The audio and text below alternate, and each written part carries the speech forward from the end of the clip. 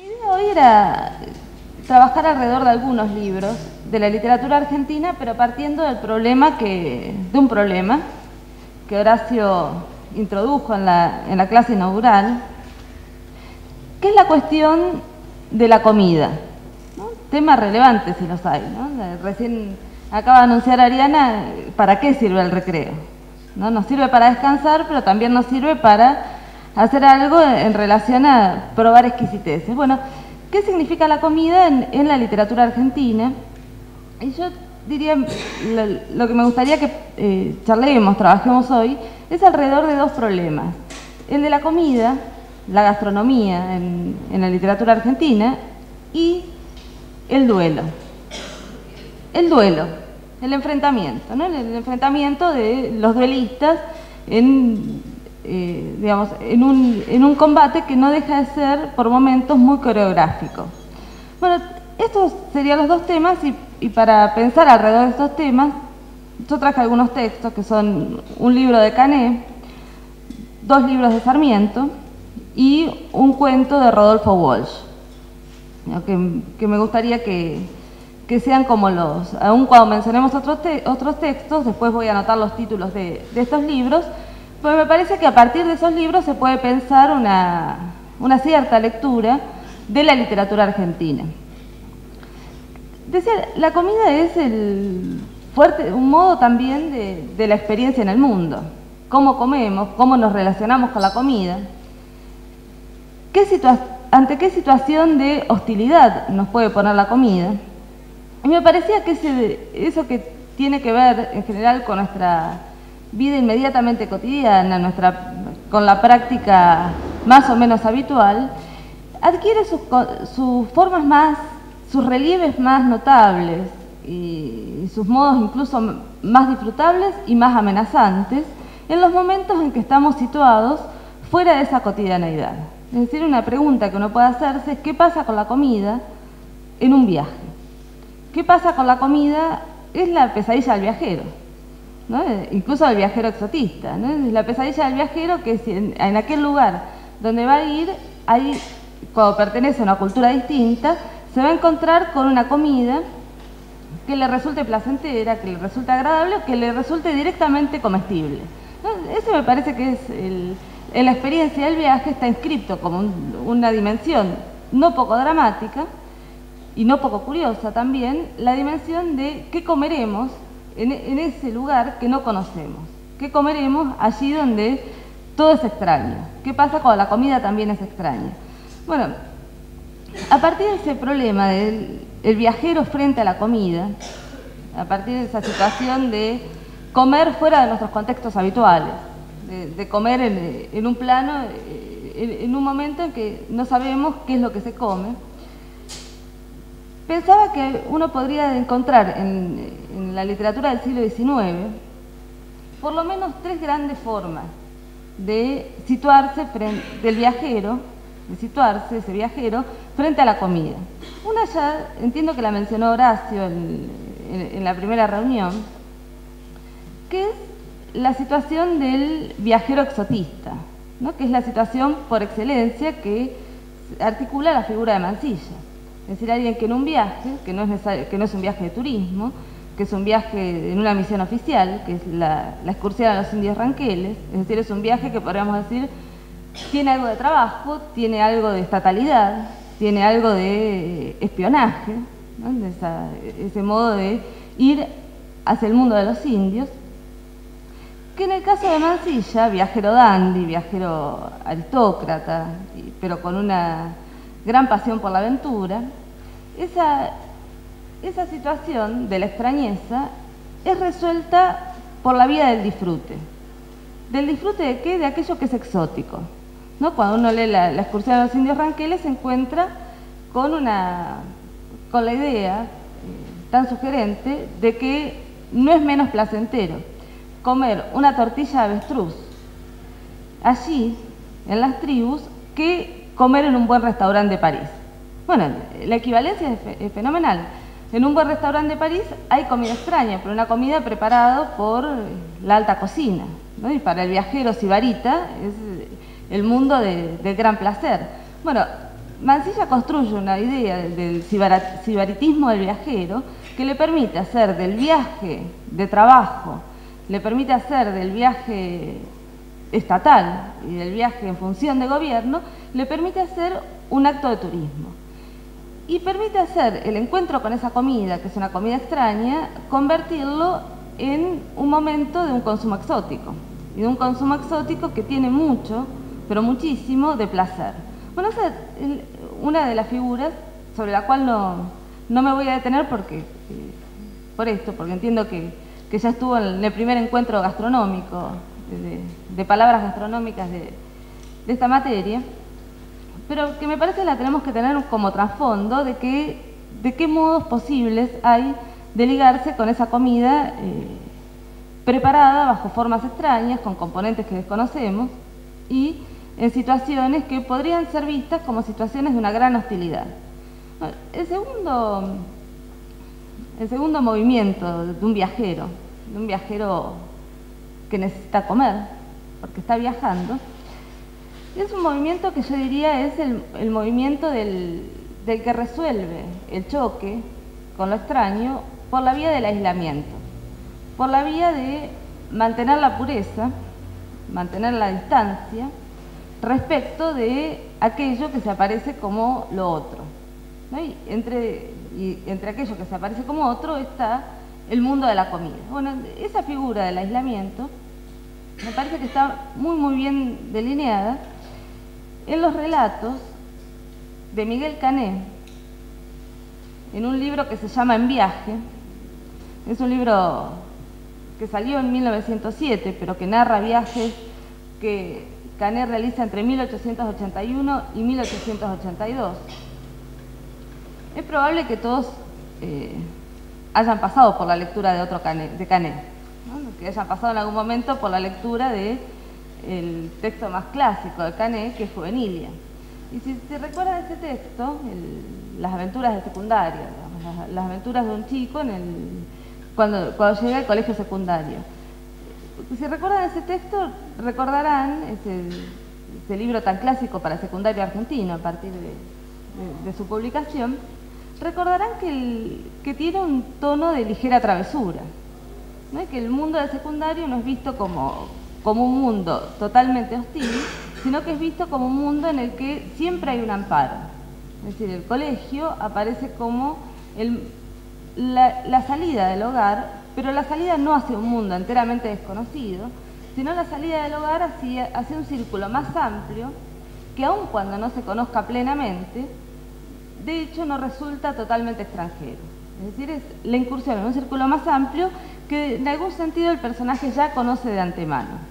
Es decir, Juvenilia creo que puede tener ese texto de ligera travesura y en función de que todo el tiempo está el libro, la fábula infantil, digamos, la fábula del colegio, en el, anecdotario del colegio, está recorrido por la idea de que siempre hay un amparo al cual retornar. siempre hay una protección a la que se puede apelar, pase lo que pase incluso con una escena notable donde el protagonista se escapa, pero que es encontrado y, ayudado por quien era en ese momento el presidente de la nación. Es decir, es el gran amparo el que resuelve las, posibles situaciones de, desprotección del protagonista. Bueno, Canet construye a partir, me parece, de esas certezas tan profundas que tiene en el mundo conocido, que construye en el mundo del el amparo social, de, la red de conocimientos que le permitirían siempre no ser alguien a la deriva. Construye lo que él ha llamado, y me parece explicado mucho, que es la idea de una prosa ligera. Él mismo ha definido sus escritos como prosas ligeras, es decir, como escritos que intentan despertar eh, una sonrisa en aquel que los, que los está siguiendo y que tienen, la idea de no plantear situaciones tan dramáticas que impliquen una cierta profundidad. Es decir, me parece que la situación de la prosa ligera eh, lleva la idea de que la escritura puede ser vista con una cierta tersura, con una cierta lisura, con una lisura amable.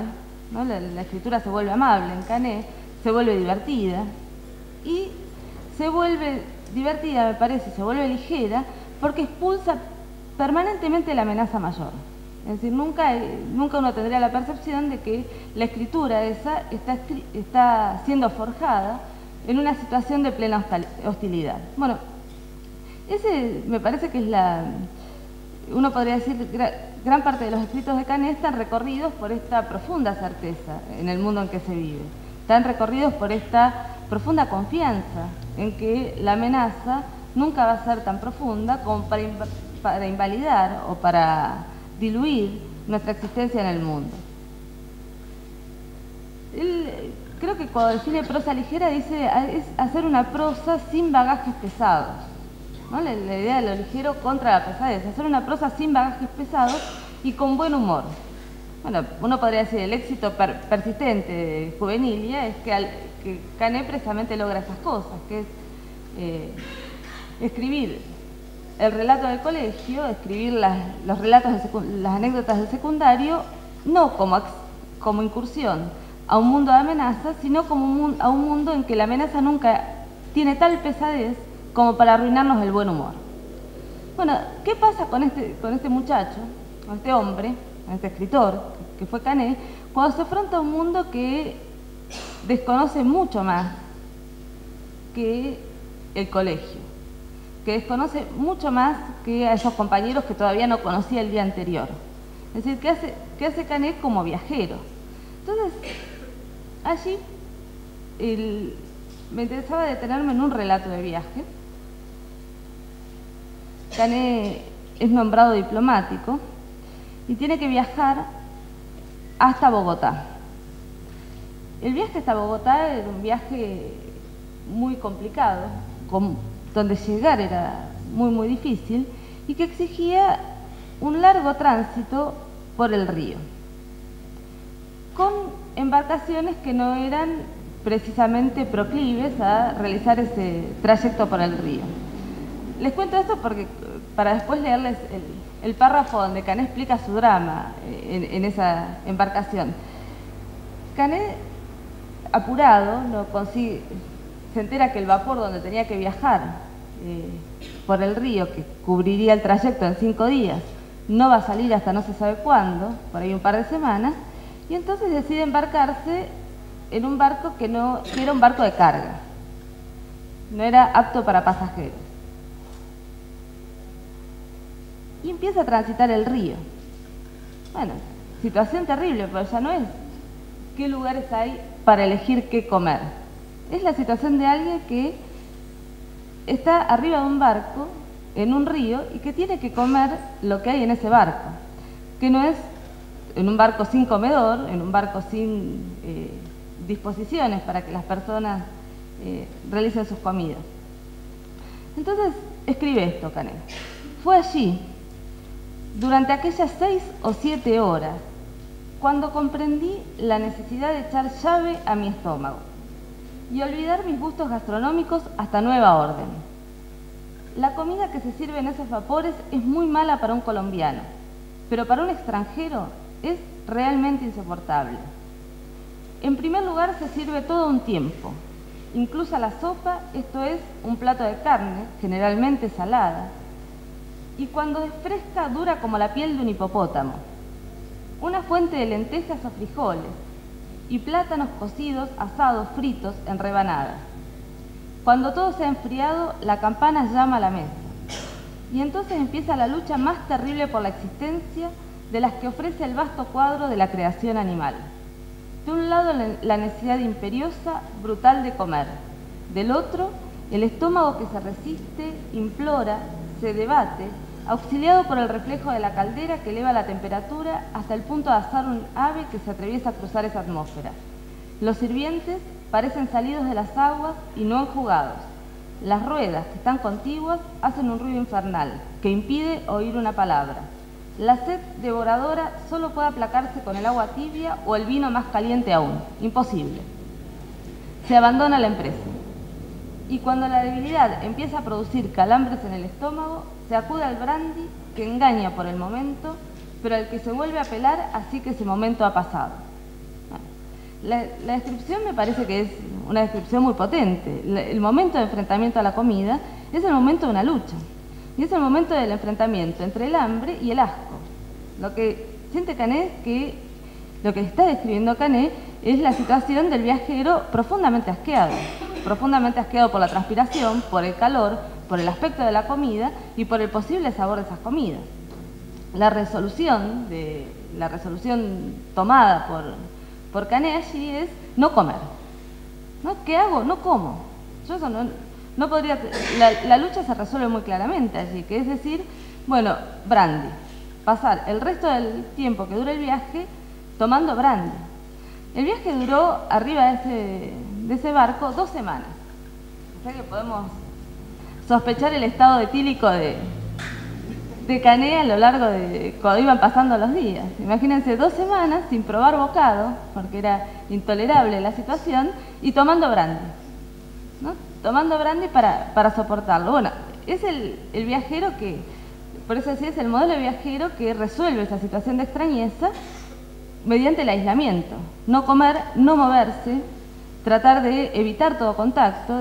todas las descripciones de este libro son, eh, y de este viaje en particular, eh, son descripciones que, bordean la bordean la, un profundo prejuicio racial. Digamos, no, esta que les leí, pero viene de, haber descrito lo que son las poblaciones negras. Y a lo largo de este texto va a ir describiendo qué son las poblaciones que se ven a la vera del río.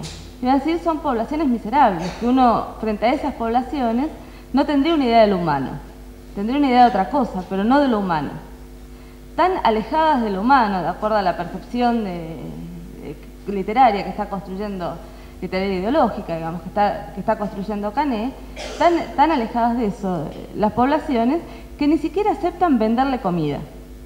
¿No? El barco va parando, es muy lento, por momentos no puede avanzar, la, narración es terrible porque el río eh, no tiene profundidad, por eso el barco no avanza y lo que eran cinco días va demorando semanas y intentan bajar a la costa a comprar comida y las personas que viven en las poblaciones no le quieren vender comida, huevos. Dice Canet, son gente extrañamente con todas las necesidades, pero al mismo tiempo sin ninguna necesidad.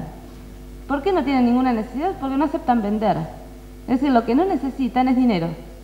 Entonces no hay intercambio posible con personas que, aún despojadas de todo, aún sin, ninguna, sin acceso a nada, no necesitan para seguir viviendo en ese mundo dinero, no hay intercambio y entonces lo que es el, relato este es el relato de un, de un fuerte aislamiento. Pero me interesa marcar lo que se, veía en la cita que leía, que es ese momento de enfrentamiento a la comida, con la comida es precisamente una lucha.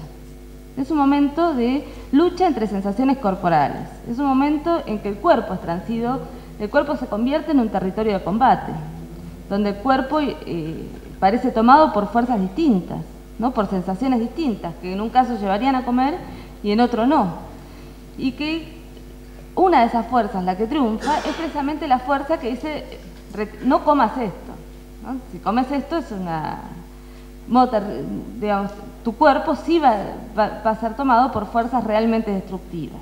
Bueno, esa, esa situación, digamos, de pensar el momento el viajero como un viajero que persiste en mantenerse igual a sí mismo antes del viaje, ¿no? persiste en mantener las costumbres que tenía antes de embarcarse, y embarcarse en todos los sentidos de esa, palabra, no, no, solo en, en, la del barco, y se niega por lo tanto a comer eso que para un extranjero sería totalmente insoportable, como dice Canet, esa situación me parece que la podemos pensar asociada a esta otra, de pensar que el, momento de la comida tiene algo de enfrentamiento, o es un enfrentamiento, y con otras ideas de Canet que, están en estas páginas también, que dice, antes de comenzar el viaje, yo tenía, dice, la misma ansiedad que antes de rendir un examen o antes de entablar un duelo.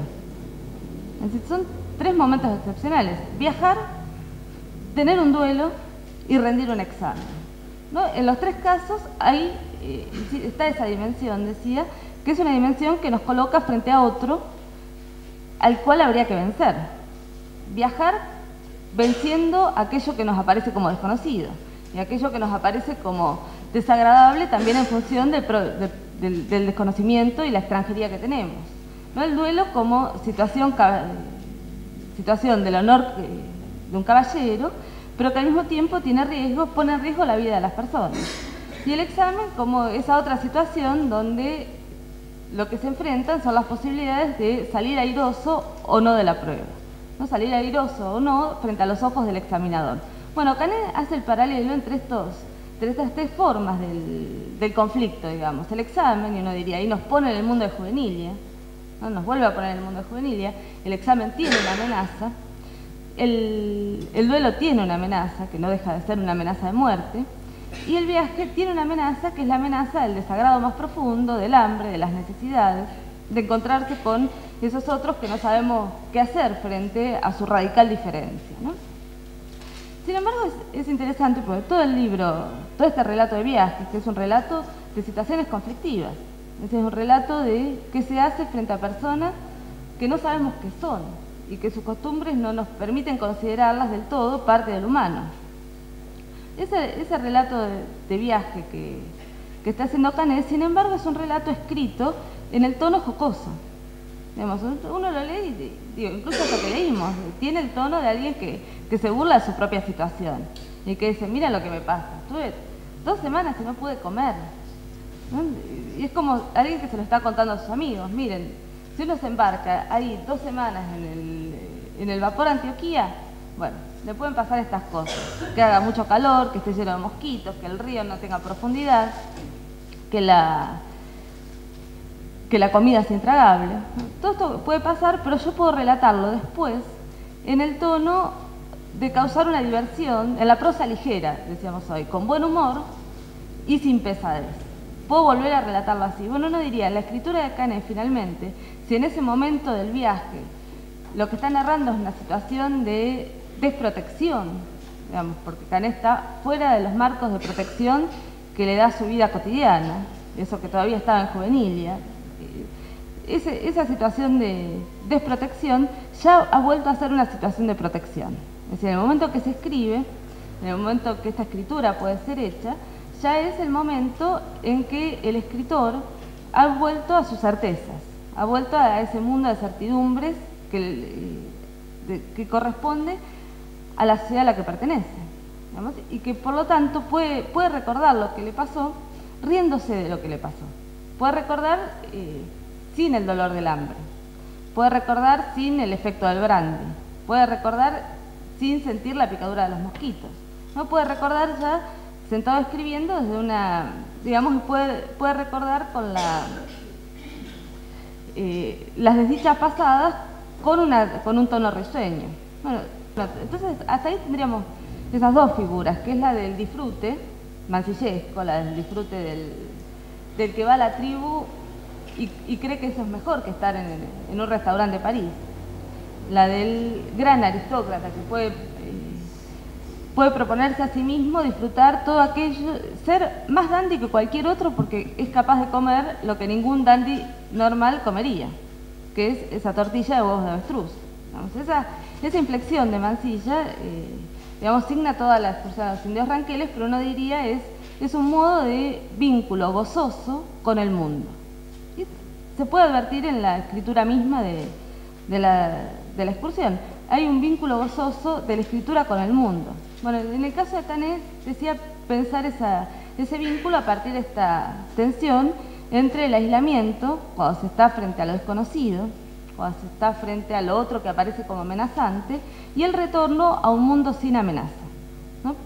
Uno podría pensar la, escritura de Canet en esta tensión.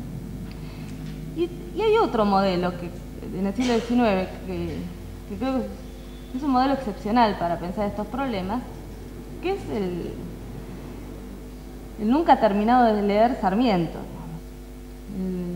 nunca agotado Sarmiento, porque para Sarmiento, eh, yo diría también en, el modo en que Sarmiento come, podríamos establecer una semblanza de Sarmiento.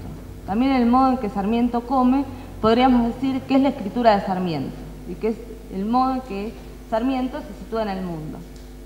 Es decir, pensando así las... Eh, pensándole en ese momento singular también de qué significa comer cuando se viaja. Otro libro de viajes entonces. Este libro es un libro excepcional de viajes de Sarmiento y lo, lo que les voy a leer un, un parrafito es una carta, un par de parrafitos, porque es una carta, ahí sí que podemos tener un vínculo mancillesco con ella, muy gozoso. Eh, es una carta que escribe desde Argelia. Se llama Viajes. Son cartas que Sarmiento va escribiendo, eh, cartas de sus amigos, donde relata viajes. Es decir, tiene una diferencia, que son escrituras eh, contemporáneas a los hechos. Está, escribiendo en el momento en que, de, desde el viaje, contando qué le está pasando. Eh, en esa, esa carta después la dejamos en la fotocopiadora, eh, si ustedes quieren, para tenerla. Es una carta de 1847, una carta desde Argelia, y donde Sarmiento narra Toda la carta es extraordinaria, pero la situación en, la que me quiero centrar es la narración de Sarmiento de una comida ceremonial. Es decir, es recibido en una tribu por jefes argelinos, es recibido en una ceremonia gastronómica, entonces está obligado a comer. imagínense, siempre uno está obligado a comer. Siempre es dramático en una situación de viaje, decíamos, con qué nos encontraremos al momento en que seleccionamos al tuntún, qué es lo que vamos a comer si no sabemos qué es eso. Bueno, en una comida ceremonial no se puede no comer. o sea que los problemas, del viajero acá están agravados porque está eh, viajando como emisario y tiene que comportarse como alguien que no desdeña y no desprecia las costumbres del lugar al que llega. Entonces, después de un largo viaje a caballo, bellísimamente narrado por un Sarmiento que se descubre bárbaro en, ese galopar, digamos, y descubre que él, como los gauchos, es un gran jinete. En, ese, en ese contexto, cuenta la llegada a la, al Aduar y qué significa la comida cuenta algo previamente que dice que alguien le había recomendado antes de ir, otro occidental, que le había recomendado llevar un perro. Llevar un perro astutamente para ir dándole aquello que no le gustaba. Entonces este le había dicho, bueno, como vas a ver que es complicada la comida, llévate un perrito y cuando no te ven le vas dando lo que no querés comer. Entonces no quedas mal. Sarmiento dice, yo no hice eso. Y la explicación que da es bien interesante. Dice, no lo hice porque yo quería ser el héroe de mi propia novela. Y acá me parece que ya ser el héroe de mi propia novela, eh, podríamos decir ahí tenemos un, una alerta sobre cómo quiere pensar Sarmiento su viaje, su situación frente al mundo y qué tipo de relación va a establecer con la comida yo diría, la relación que, para completar las figuras que estábamos haciendo, la relación que tendríamos en Sarmiento con la comida es una relación de conquista. Sarmiento come apropiándose del mundo. Sarmiento come eh, como parte de un movimiento de conquista sobre, sobre el mundo.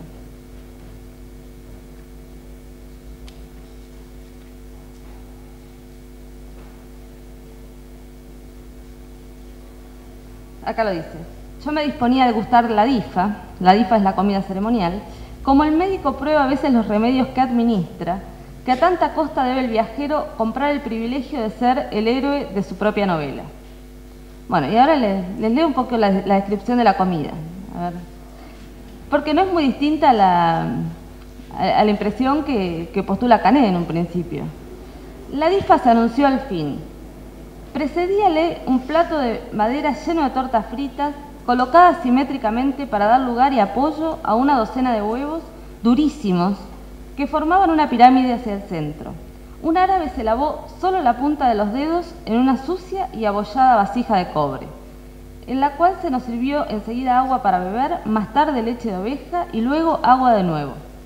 A cada ronda que la malhadada vasija hacía, seguíanle mis ojos de mano en mano para llevar cuenta de los puntos del borde donde los árabes ponían sus labios. Esfuerzo inútil. Al fin descubrí una abolladura inaccesible que me reservé desde entonces para mi uso personal. Fantástico.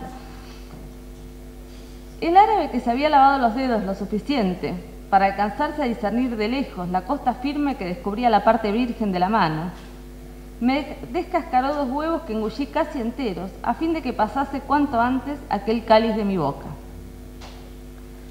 Tenga usted paciencia, mi querido amigo. Sabe que cumplo con la promesa que a petición suya le hice de describirles las costumbres árabes. Las tortillas fritas vinieron enseguida, y aunque crasas y espirituosas en fuerza de lo rancio de la mantequilla, yo sostuve como un héroe mi posición. Sin pestañear, sin titubear un momento, sin echar mano siquiera de uno de los tantos subterfugios y engañifas de que en iguales casos se habría servido un gastrónomo vulgar. Más hice todavía, habiéndome revelado algunos que aquel lago fangoso, que se divisaba en el fondo del plato y que yo había respetado, tomándolo por cebuno depósito de la fritanga, era miel de abejas, descendí hasta él con los pedazos de las tortillas, alzando una buena porción en cada revuelco. Hasta ahí todo marchaba en el mejor orden, pero aún faltaba lo más peliagudo de la empresa. Y nada se había hecho si no lograba hacer pasar el cuscús. Verdadero kit bel kit para estómagos europeos de la regalada gastronomía del desierto. Es el cuscús una arenilla confeccionada a mano, hecha con harina frita sin sal y anegada después en leche. Hasta acá todas las descripciones de, del asco y el triunfo frente al asco, ¿no? Como, y la astucia también, porque él dice no hay subterfugios, pero estamos viendo de qué lado no toman los otros. Estamos tratando de encontrar una abolladura que haga que los labios se posen sobre otro lugar. Bueno, pero la comida hasta acá dice asquerosa, pero tragable. Hasta acá se sostiene como un héroe en su posición. Pero ahora viene que vio el cuscús, y que se enfrenta hacia el cuscús, o sea, el momento cumbre del relato, de la novela del heroísmo. Tenemos un héroe que ha logrado atravesar ciertas situaciones complicadas. Ahora tenemos que ver qué hace nuestro héroe frente a una situación un poco más amenazante. Dice, confieso que cuando se presentó el enorme plato que lo contenía, el cuerpo me temblaba de pies a cabeza. No obstante que nunca he tenido miedo a manjar ninguno. Un sudor helado corría por mis sienes. Y el estómago, no que el corazón, me latía cual gime el niño a quien el pedagogo manda al rincón. Lo peor del caso era que yo debía principiar, como el héroe de la fiesta, de nuevo Sarmiento. No, para de decir a cada tres líneas quién es el héroe sin lo cual nadie era osado de hundir su cuchara de palo en la movible arena farinácea. Repentinamente, como el que al bañarse en el mar se precipita de cabeza después de haber vacilado largo tiempo, presintiendo la impresión del frío, yo enterré mi cuchara hasta el mango y sacándola llena de cuscús y leche, la sepulté en la boca. Lo que pasó dentro de mí en ese momento resiste toda descripción. Cuando abrí los ojos, me pareció hallarme en un mundo nuevo. Todos mis tendones, contraídos por el sublime esfuerzo de voluntad que acababa de hacer, se fueron estirando poco a poco y dispersándose con la alegría de soldados que abandonan la formación después de disipada la alarma hija de alguna noticia falsa. De todo ello concluido que o el cuscús no es abominablemente ingrato o que Dios es grande y sus obras maravillosas. O en fin, que no se ha inventado todavía el potaje que me ha de hacer volver la cara. La descripción es fantástica. La descripción de alguien que se afronta a la comida, ahí sí como una, ya no es la lucha de Canet que era tengo un poco, tengo hambre y me da asco. Acá todas las partes del cuerpo están destinadas al combate. Son soldados y están destinados a un combate que no se sabe qué va a resultar. Y esa frase final, ¿cuáles son las tres opciones? O que el Cuscús no es tan terrible, o que Dios existe, o que Sarmiento es un héroe. Eh, porque finalmente, que no todavía no se ha elaborado el manjar que me haga volver la cara. Es decir, finalizada la gran prueba, esa descripción de, esta carta, creo que, los momentos más luminosos que tiene es esa descripción del temblor corporal. ¿no? ¿Qué, ¿Qué hace el cuerpo cuando se va a enfrentar a algo que desconoce plenamente? Bueno, toda una serie de articulaciones, de tensiones, de movimientos para finalmente distenderse en la alegría de que lo que pasó no era tan grave como eh, esas fuerzas estaban esperando. Uno podría decir, Sarmiento es héroe, en esta imagen que Sarmiento propone sí, Sarmiento es héroe, Sarmiento se sitúa frente a la comida al modo de un conquistador, conquistando primero su cuerpo. Es decir, la primera lucha del héroe es la lucha contra su propio cuerpo, es disciplinar al cuerpo expurgándolo del miedo, expurgándolo del asco. Es ese paso el que no da Cané, digamos, que dice no como. Lo, que hace Sarmiento es decir, yo como igual y veamos qué pasa. ¿No? Yo estoy obligado a comer igual porque lo otro sería aceptar que hay una parte del mundo que yo no experimento, que no, experimento, que acepto desconocer para siempre y que eh, si la desconozco tampoco podré apropiármela. Pero todo el dilema, me parece, alrededor de esta carta, a lo largo de toda la carta, es el tema de la apropiación. ¿no? El tema de, por eso decía el tema de la conquista. Bueno, hay que conquistar la costumbre del otro, no renunciar a ella. Hay que entrar al mundo del otro.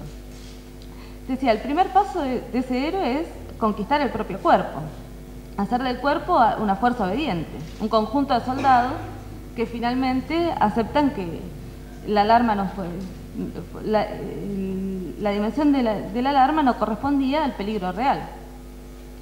Esa conquista del propio cuerpo permite la apertura hacia el mundo.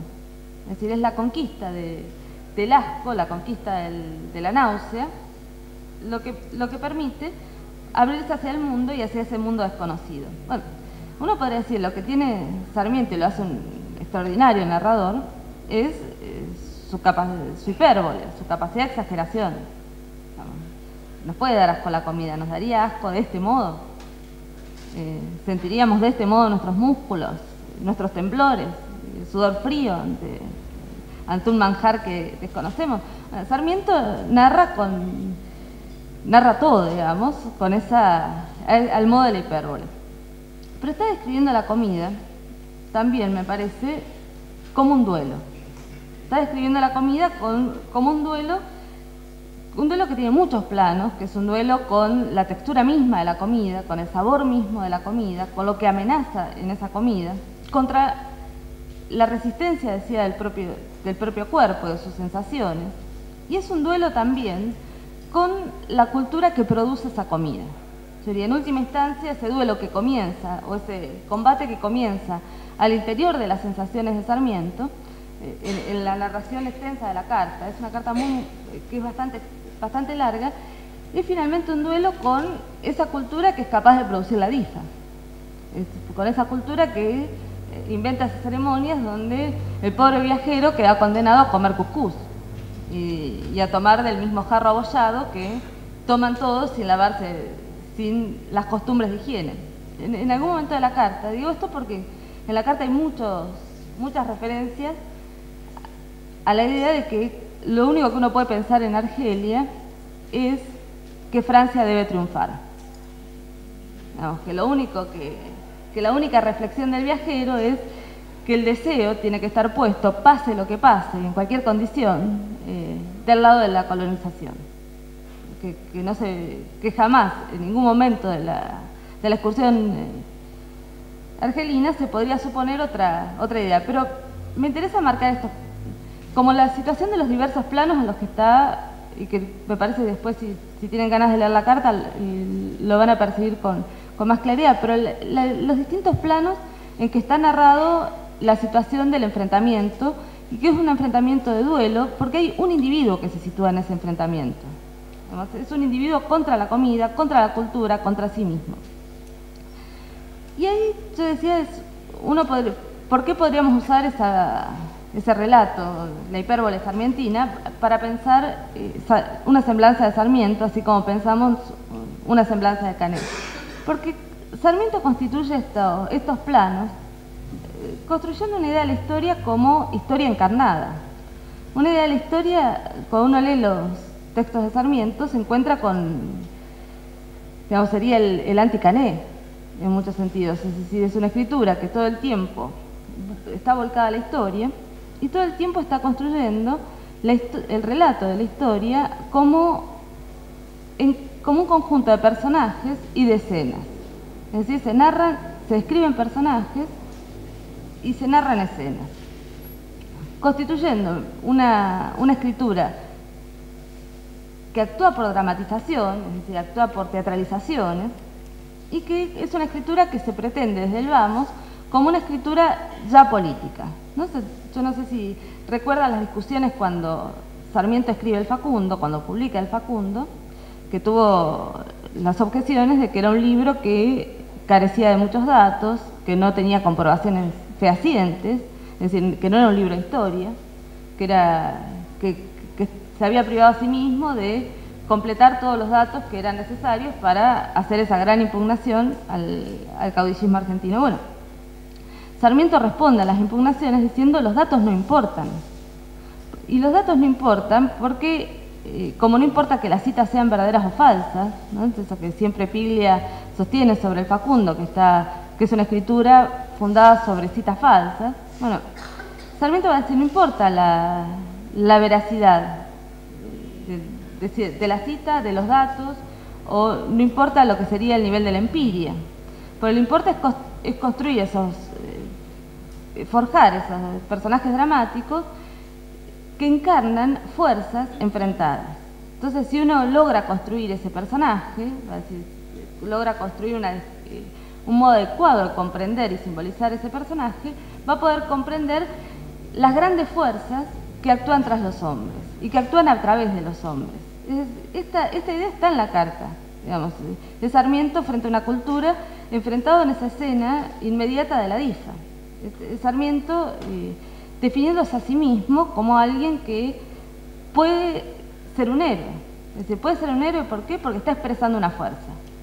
está expresando una fuerza que va más allá. Y uno diría, le puede poner a, los a esos nombres, le puede poner a esa fuerza los nombres que, Sarmiento quiso ponerle. ¿no? Le puede poner los nombres con los que Sarmiento pensó esos combates, que eran los nombres de civilización o barbarie. Uno podría decir lo que narra la DIFA, desde su propia perspectiva, es la posibilidad de un civilizado, desde la perspectiva de Sarmiento, por supuesto, la posibilidad de un civilizado de conocer y conquistar y ser atravesado, pero solo para dar cuenta de su distancia, de las costumbres de otros. Ese, me parece que es un modo en que la gastronomía es ya inmediatamente política en Sarmiento, como diría casi todo en Sarmiento, todo, es inmediatamente política en el sentido de encarnación en, detalles pequeños de una, de una escisión más profunda entre fuerzas. Sí, por favor.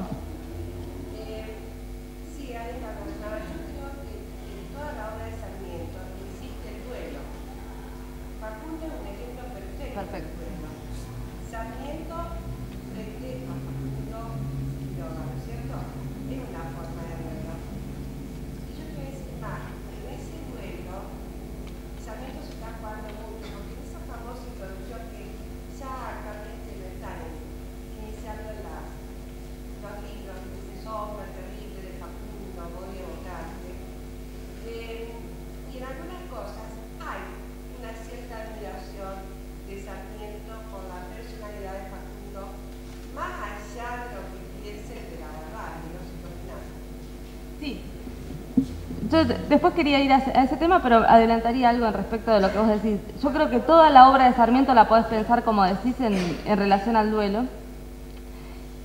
Solo que yo haría una diferencia ahí con el Facundo, que me parece que el, Facundo, el duelo es contra Rosas. ¿no? Que, Facundo es como la, la excusa necesaria, por, lo que vos citabas, ¿no? Sombra terrible de Facundo, yo te convoco para, eh, para conocer que el enigma de la Argentina. Y el enigma de la Argentina no podría decir es el, enigma del poder rosista o es el enigma de la persistencia de una decisión fundamental, que es la de civilización y barbarie. Y creo que lo más, eh, lo que hace de la escritura de Sarmiento una, un poder muy real, digamos, cuando uno, una potencia todavía cuando uno lo lee, es que es esa fascinación que tiene, que vos señalás. Digamos que no es una escritura distanciada de su adversario.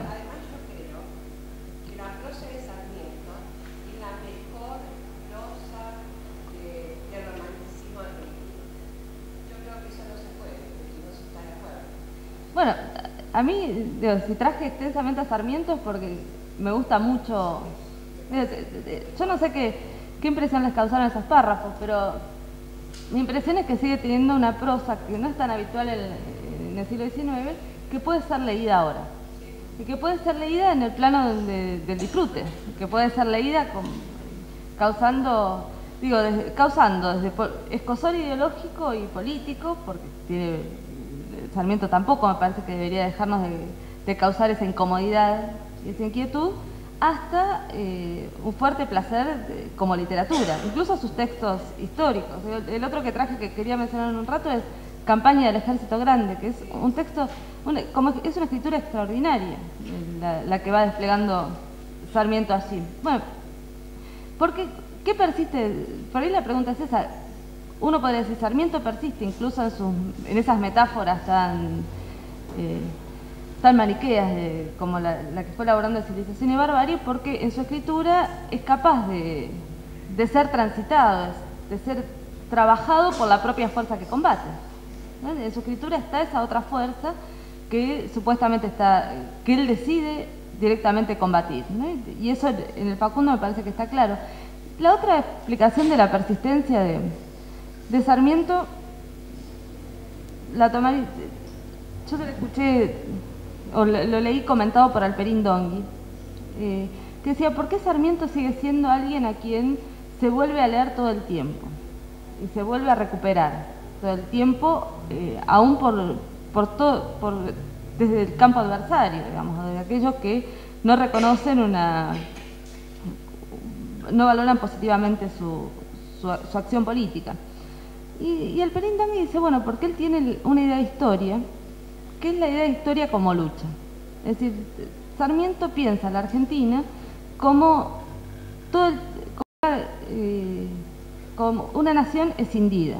Es decir, lo que es importante, según Alperín, de Sarmiento no es tanto uno de los bandos de esa decisión, no civilización o barbarie, diría, no es el país real la civilización ni es el país real la barbarie plenamente, sino que lo que es el país real es la persistencia de un antagonismo. Es la persistencia insondable de una escisión que hace que todo el tiempo el conflicto esté en, primer plano. Bueno, eh, Alperín cuando dice esto, dice, basta comparar las páginas de Sarmiento con las páginas de Mitre. Dice, Mitre tiene una especie de optimismo, hace un chiste Alperín malicioso, que tiene un optimismo que es casi hormonal, dice, porque no se puede estar tan contento. Siempre Mitre escribe como si el futuro estuviera abierto, eh, como si el, lugar de los hombres siempre sería el progreso y el lugar suyo en, ese futuro estuviera directamente inscripto. En el caso de Sarmiento, ese todo el tiempo la escritura nos pone eh, ante la amenaza, ah, ante la situación de la amenaza de que la decisión es insondable y que por lo tanto la historia no puede dejar de ser lucha. Y eso uno diría, se expresa en, su escritura, en, la potencia esa de, su escritura, en el modo en que define sus enemigos, en, aquello que escribe. Pero también se expresa, y, por eso les decía hoy lo de la, construcción de grandes escenas y, de grandes, y, la construcción de anécdotas y de personajes, es decir, la elaboración de una dramática de la escritura, se expresa en detalles. Uno diría, uno puede ir leyendo Sarmiento viendo cómo eh, por un lado, están esas fuerzas, eh, está la, gran lectura de la Argentina y del mundo, digo, está Argelia y Francia, está la civilización y la barbarie en el plano de, la historia mundial, pero también está, todas esas fuerzas uno las puede ver expresadas en pequeños detalles, es decir, lo pequeño es absolutamente relevante para Sarmiento. Lo, lo, más pequeño es, lo, diría, lo más importante. Este libro, Campaña del Ejército Grande, es un libro contra Urquiza, así como era contra el adversario inmediato del Facundo era Quiroga. Acá el adversario inmediato es Urquiza, pero Urquiza en tanto es continuación de Rosas, o sea, el adversario siempre, por eso decía, el gran duelista de el, otro en el duelo sarmientino es Rosas. Pero rompe con Urquiza entre muchas razones, pero finalmente la ruptura eh, termina de darse en el momento en que eh, Urquiza decide mantener como símbolo la cinta punzón. Y Sarmiento ahí dijo, basta. Esa cinta no. Entonces, bueno, el lector contemporáneo podría decir, pero ¿era necesario romper para no ponerte una cinta roja? ¿Era necesario irte al exilio nuevamente para no ponerte esa cinta? Para Sarmiento esa cinta es la mayor, el pequeñísimo detalle que expresa la decisión más fuerte de Urquiza de continuar la política racista. Es decir, es en la cinta donde ve la mayor continuidad. Es en la cinta donde se expresa la efectiva pertenencia para, para Sarmiento, la efectiva pertenencia de bando que ha elegido Urquiza. Es decir, Urquiza es parte de la tradición, en, ese momento se termina de, advertir para Sarmiento, con esa cintita, con esa atribución, digamos, se termina de, de, escribir Urquiza en el bando del caudillismo argentino. pero es una cinta, es el, pequeñísimo detalle en el lugar donde tenemos, donde la, historia revela su verdad. Uno diría, la historia en Sarmiento todo el tiempo está revelando su verdad más profunda, en los detalles más inocentes. Y les, voy a leer otros párrafos. ¿Esa? Esa verdad es subjetiva. Yo te quiero preguntar, ¿por qué dijiste que Urquiza sigue la misma política de Rosa? Estaba... No, a ver, yo no dije que yo diga que Urquiza sigue la política de Rosa. Sarmiento. Sarmiento. No, no, no, no. No, eso llevaría otras discusiones y diría desde el principio, yo no sostendría esa idea. Pero es el argumento de Sarmiento acá, no, eh, no mío. No me confundan con ese muchacho. Yo no como difa, no, no hay forma. Pero Urquiza y Sarmiento. Sarmiento iba vestido en la campaña, ¿se acuerdan que era boletinero de la campaña contra Rosas? Entonces, va vestido como un militar europeo. No es una, son fuerzas gauchas. Sarmiento va vestido a la usanza europea. Entonces, dice, nubes negras y atormentadas iban esparciendo por el cielo. El general, Urquiza, agregamos, me dijo, va a llover, y con tono de burla, y mojársele las plumas. Era el caso que yo era el único oficial del ejército argentino que en campaña ostentaba una severidad de equipo estrictamente europeo. Silla, espuelas, españas gruñida, levita abonada, guantes, quepí francés, paltó en lugar de poncho, todo yo era una protesta contra el espíritu gauchesco. Lo que al principio dio lugar a ciertas pulias, a que contestaba victoriosamente por la superioridad práctica de mis medios. Entonces cuenta, claro, superioridad práctica que es que él tenía más objetos instrumentos que eran necesarios a la campaña que el resto de sus compañeros. Entonces de vez en cuando le tenían que pedir eh, esos instrumentos eh, para distintas necesidades y entonces ahí triunfaba la civilización contra el espíritu gauchesco. Entonces después cuenta esto y dice, esto que parece una pequeñez, era una parte de mi plan de campaña contra Rosas y los caudillos seguido al pie de la letra, discutido con Mitre y Paunero, y dispuesto a hacerlo triunfar sobre el chiripá si permanezco en el ejército. Mientras no se cambie el traje del soldado argentino, ha de haber caudillos. Mientras haya chiripá, no habrá ciudadanos. Es una idea fuertísima sobre la ropa, que es, en, la ropa vemos toda la política nacional. En la ropa vemos la persistencia o no del caudillo. Sigue contando, dice, y para acabar con estos detalles de propaganda culta, elegante y europea, en aquellos ejércitos de apariencia salvajes, debo añadir que tenía botas de goma para el caso, tienda fuerte y bien construida, catre de hierro del peso de algunas libras, de manera de poder dormir dentro de una laguna, velas de esperma de noche y mesa, escritorio y provisiones de boca de cargarlo todo en un caballo. Bueno, iba cargadísima, iba cargadísimo y tenía problemas sistemáticos con, un Urquiza que no paraba de hacerle chistes maliciosos además, que, lo trataba como un vulgar gacetillero que además no tenía eh, adecuación al, al, ejército. Bueno, pero para Sarmiento, insisto, es él, yo soy una protesta contra el espíritu gauchesco. Yo encarno las fuerzas de combate contra ese espíritu gauchesco, es decir, el yo se pone en el terreno, y esto me parece lo mismo que veíamos en la escena de la comida, el yo se pone como lugar de inscripción de la historia mayor. Es decir, se está encarnando la historia en ese enfrentamiento de Sarmiento con el medio, de Sarmiento contra sus compañeros, de Sarmiento contra Urquiza, de Sarmiento contra las costumbres, digamos, uno, Sarmiento estaría diciendo civilización y barbarie, esa decisión fundamental vuelve a producirse al interior de cada fuerza, al interior del ejército, y vuelve a producirse en qué, en cómo estamos vestidos, si el chiripá o el uniforme. ¿no? Chiripá y uniforme pasan a ser los símbolos de combate mayor. Digo, esa es una... Si, si pensamos esas escenas, digo, son escenas prácticamente teatrales. Nos dice cómo el personaje está vestido, nos dice cómo, cómo es burlado, cómo se le piden a veces las cosas. Y, son escenas en las que, en esas pequeñas escenas donde Sarmiento propone que, eh, que sea revelada en, su propia construcción de esa dramática, sea revelada el drama mayor. Por eso Sarmiento puede pensarse como vestirse y ser visto y, ser, y actuar de ese modo como un acto mismo de propaganda. Es el hombre propaganda, es el hombre que uno lo ve y está haciendo propaganda culta, elegante y europea.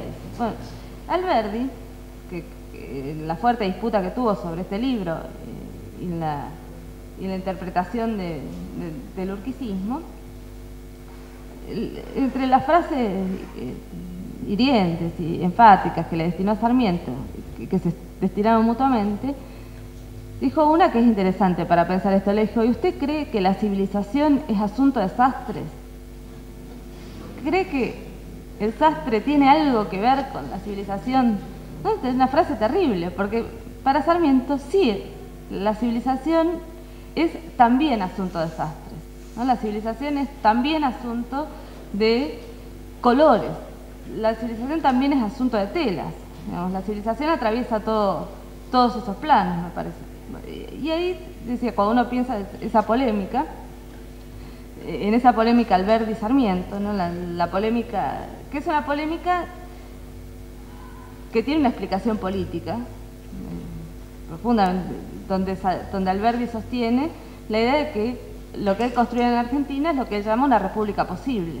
Y construir una república posible es aceptar que las costumbres del país, aceptar las tendencias organizativas del país, aceptar una continuidad con las políticas anteriores, porque esas políticas anteriores expresan una sociabilidad que no se puede negar. Eh, y frente a Sarmiento, que tiene la idea de que las fuerzas en combate requieren un corte radical y requieren eh, que fundar una nueva política que no tenga absolutamente nada que ver con la política del racismo. Por eso la, polémica va a ser eso, pero va a estar eh, atravesada esa polémica también por estas cuestiones de cómo, cómo debe vestir, cómo debe vestir un militar en una campaña, cómo debe vestir, a qué usanza y si el chiripá es algo más que un chiripá.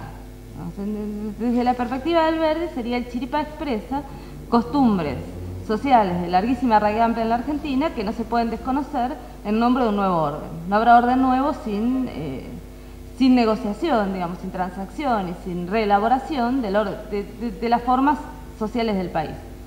desde la perspectiva de Sarmiento, el triunfo de la civilización significaría eh, hacer tierra hacer tierra raza con todo ese pasado y, construirlo sobre bases simbólicas, culturales y políticas bien diferentes que van hasta la, hasta la sastrería, que van hasta eh, la discusión sobre la ropa. yo tengo una impresión allí que una de las eh, cuestiones que por ahí es interesante que, plantea una universidad libre, una facultad libre, es que ponen y que no pone la exigencia de un saber preexistente formal, eh, tiene el interés también de poner en crisis la idea de que siempre haya que cumplir una etapa previa para llegar a, leer algunos textos. Que, me parece que está, que eso lo, lo, tenemos que aprovechar también en el sentido que son, hay como, uno puede no tener muchísimas informaciones a la hora que se afronta un texto y en general se afronta, cada vez que se afronta un texto se afronta algo muy desconocido. Eh, entonces, ¿eh? No, pero también en el sentido de que cada lector hace una experiencia autónoma y singular de vínculo con ese texto. Y no necesariamente esa experiencia autónoma y singular está asignada por la información previa que uno, que uno tenga. A veces esa información le sirve para pensar, interpretar y discutir algunas cosas y otras veces no. En ese sentido, digo, por lo menos esta materia con Horacio y Darío, que es la otra persona que va a venir, eh, todo el tiempo que hemos trabajado juntos, eh, las materias que hemos trabajado juntos, nunca tuvimos un plano muy informativo de, de, nuestra, de nuestro pensamiento sobre lo que es una instancia de clase.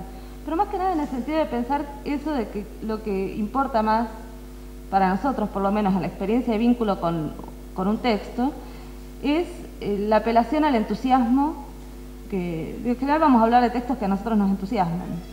Eh, y, con la idea de que el entusiasmo es una vía, por eso decía la literatura como experiencia vital, que es una vía de impregnación de lo que es la materia literaria, y que no necesariamente esa, materia que es la literatura eh, requiere una historización, una, eh, pensarla como etapas, ¿no? Por eso saltar de, Sarmiento a Walsh, que por supuesto son bien distintos y pertenecen a épocas radicalmente distintas, pero ¿qué pasa si podemos interrogar textos que cuya coyuntura histórica los pone en una, situación, los podemos interrogar en otra.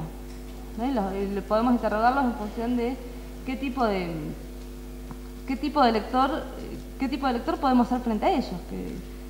me parece que 200 personas podemos hacer 200 tipos de lectores frente, frente a un texto y que pensamos lo recién decían lo de los grupos de estudio, eso estaría bueno que sean no grupos de de fijación de un tipo de lectura, sino grupos de desarrollo de experiencias personales de, lectura. Yo ahí en serio aprovecharía que esto es las cualidades que tiene de no pertenecer a, la, a los ámbitos más tradicionales de, la educación formal, no porque esté mal la educación formal, sino porque podemos hacer una experiencia distinta a la que transitamos en, en nuestros estudios habituales. Perdón, quería opinar una cosa. Está ella. es que no te veo desde acá. que soy petizo, pero estoy parado. No, estás a oscuras. No, eh, más allá de tanta libertad que por ahí me puede asustar también, eh, digo, nos podríamos organizar de manera que las preguntas y, el intercambio tuviera un horario. Me bueno. parece importante y aparte porque creo que la literatura tiene muchas formas de ser abordada y a mí me interesa ver la propuesta que usted trae.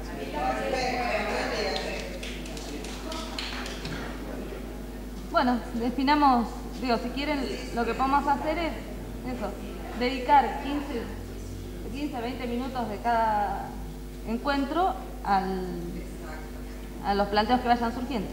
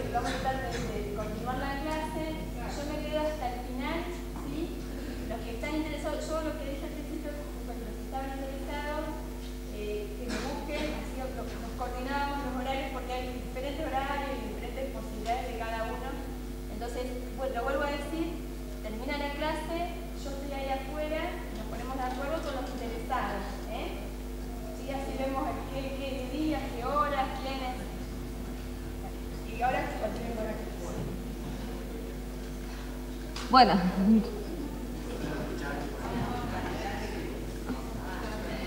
Entonces, retomando lo, lo que habíamos estado pensando en- eh, antes del recreo y antes del que nos apareciera así los dilemas organizativos, eh, yo decía pensar esta figura de Sarmiento como un duelista y pensar en el tipo de duelo que él está estableciendo contra Rosas.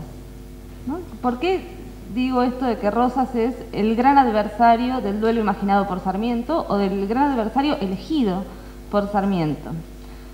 De nuevo, dos, dos frasecitas.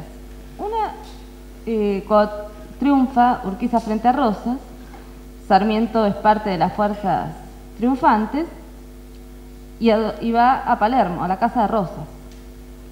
Va a la residencia de Rosas. Y entonces lo cuenta así.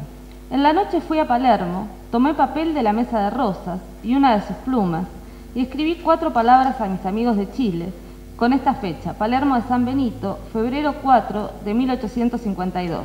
Era esta una satisfacción que me debía y un punto final a aquel alegato de bien probado que había principiado con la carta del general Ramírez en 1848. Yo me apresto general para entrar en campaña.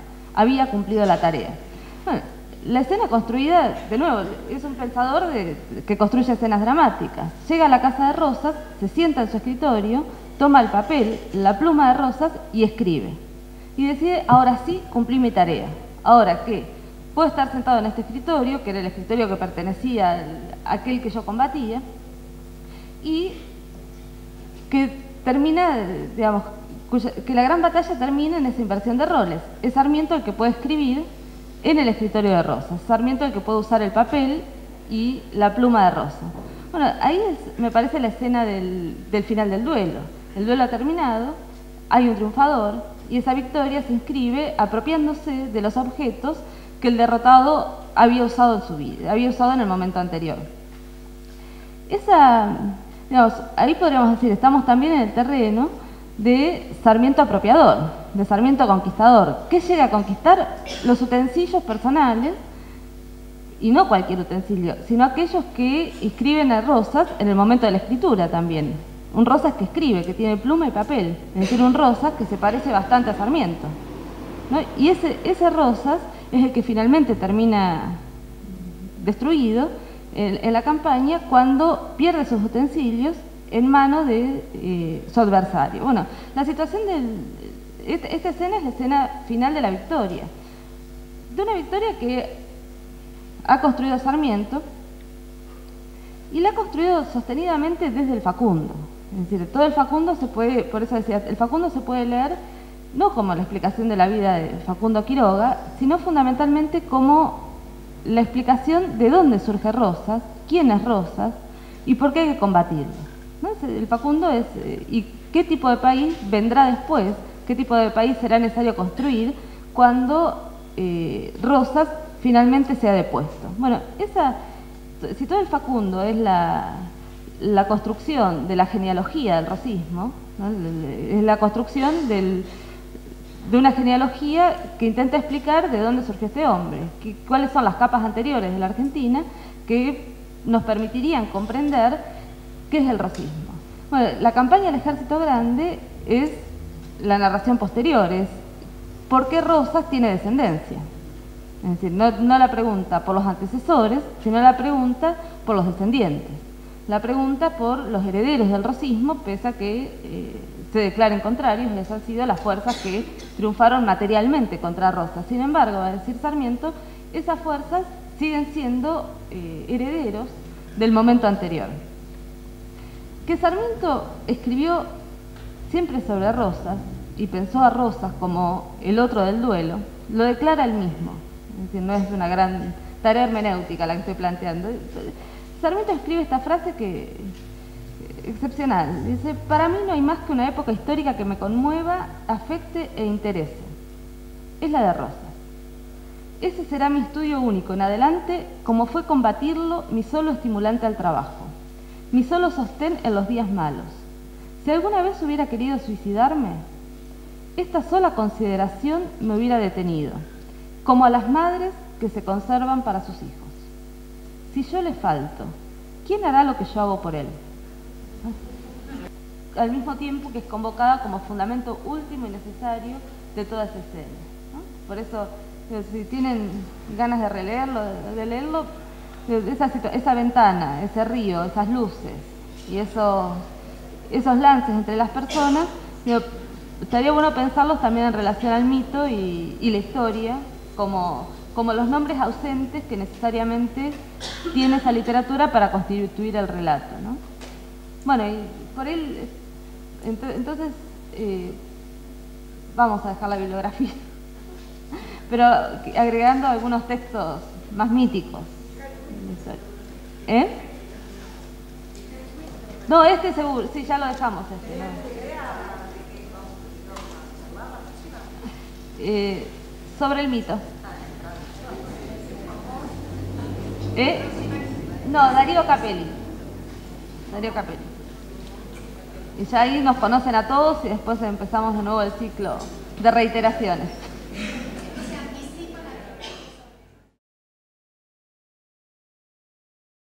Final de la victoria. De una victoria que ha construido Sarmiento y la ha construido sostenidamente desde el Facundo. Es decir, todo el Facundo se puede, por eso decía, el Facundo se puede leer no como la explicación de la vida de Facundo Quiroga, sino fundamentalmente como la explicación de dónde surge Rosas, quién es Rosas, de una genealogía que intenta explicar de dónde surge este hombre, cuáles son las capas anteriores de la Argentina que nos permitirían comprender qué es el racismo. Bueno, la campaña del Ejército Grande es la narración posterior, es por qué Rosas tiene descendencia.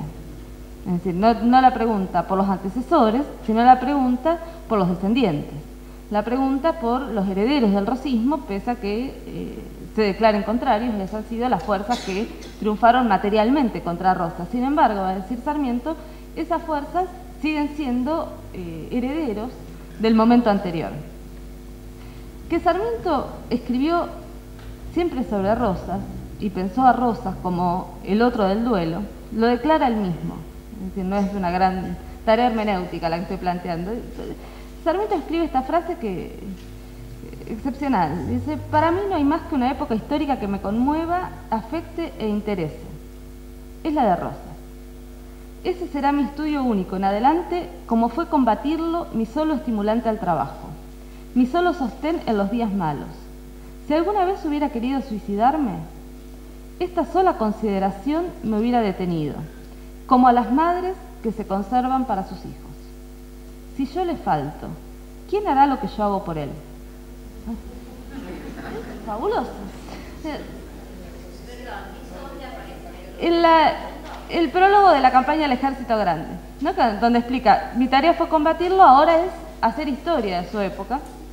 Eh, pero esa frase, porque la equivalencia que plantea es eh, casi escalofriante, como una madre frente a su hijo. Una madre no se suicida porque piensa, ¿quién va a cuidar de mi hijo si yo muero? Bueno, Sarmiento, si alguna vez pensé en suicidarme, esto solo me hubiera detenido. ¿Quién va a hacer por Rosas lo que yo hago por él? extraordinario. La vida de Sarmiento, desde la perspectiva de Sarmiento, se explicaría por esta necesidad de hacer algo por Rosas hacer algo que es combatirlo, que es derrotarlo, que es eh, dar, escribir la verdad sobre un periodo que considera ominoso a la historia argentina. Pero el, duelo está, me parece, en, esa, en la escena del, papel y la pluma y, en esta afirmación tan fuerte de Sarmiento, ¿quién hará lo que yo hago por él? Está plenamente constituido.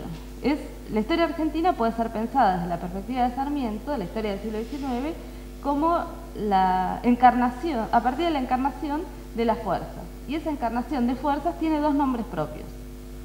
Tiene otros nombres menores, que son los de Urquiza, son los de Quiroga, son los de Paz, son los de Artigas pero y son los de Rivadavia. Pero tiene dos, nombres, dos grandes nombres propios, bajo las cuales, eh, cuyo, cuya luz ilumina, hace un cono sobre, sobre el funcionamiento de esas fuerzas, que son los nombres de Rosas y Sarmiento. Yo le diría, esta idea de Sarmiento, llevaría lo que, podría llevar a lo que eh, por muchos momentos se sostiene sobre su obra, su, su modo de escritura, que son fuertemente egocéntricos. Es decir, es alguien que en las breves párrafos que leímos, alguien que no se priva nunca de decir la palabra yo. ¿No? Vieron que cuando uno escribe, eh, en general tiende a omitir, mm, tiende a omitir ese momento de la enunciación, que es decir, yo digo tal cosa, yo hice tal cosa. Ese, ese momento es el momento en que Sarmiento jamás omite.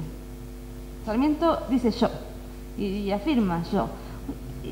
Pero ahí, me parece que si uno lo piensa meramente como egocentrismo, se privaría de considerar el porqué de esa situación, que es que Sarmiento dice yo porque no se está considerando un individuo. O sea, que está considerando algo que es mucho más que un individuo, que se está considerando como encarnación. Es decir, es el modelo del héroe romántico, que es el héroe aparece, y en esto sí es muy, es un hombre de su época, el héroe aparece como expresión de las fuerzas de una raza, o como expresión de una, de una cultura. El, el héroe no es alguien, incluso el héroe negativo, siempre el héroe es alguien que es algo más que un talento individual, es alguien que puede ser inficionado, digamos, y llevar a la culminación a expresándolas las potencias existentes en un territorio, en una comunidad.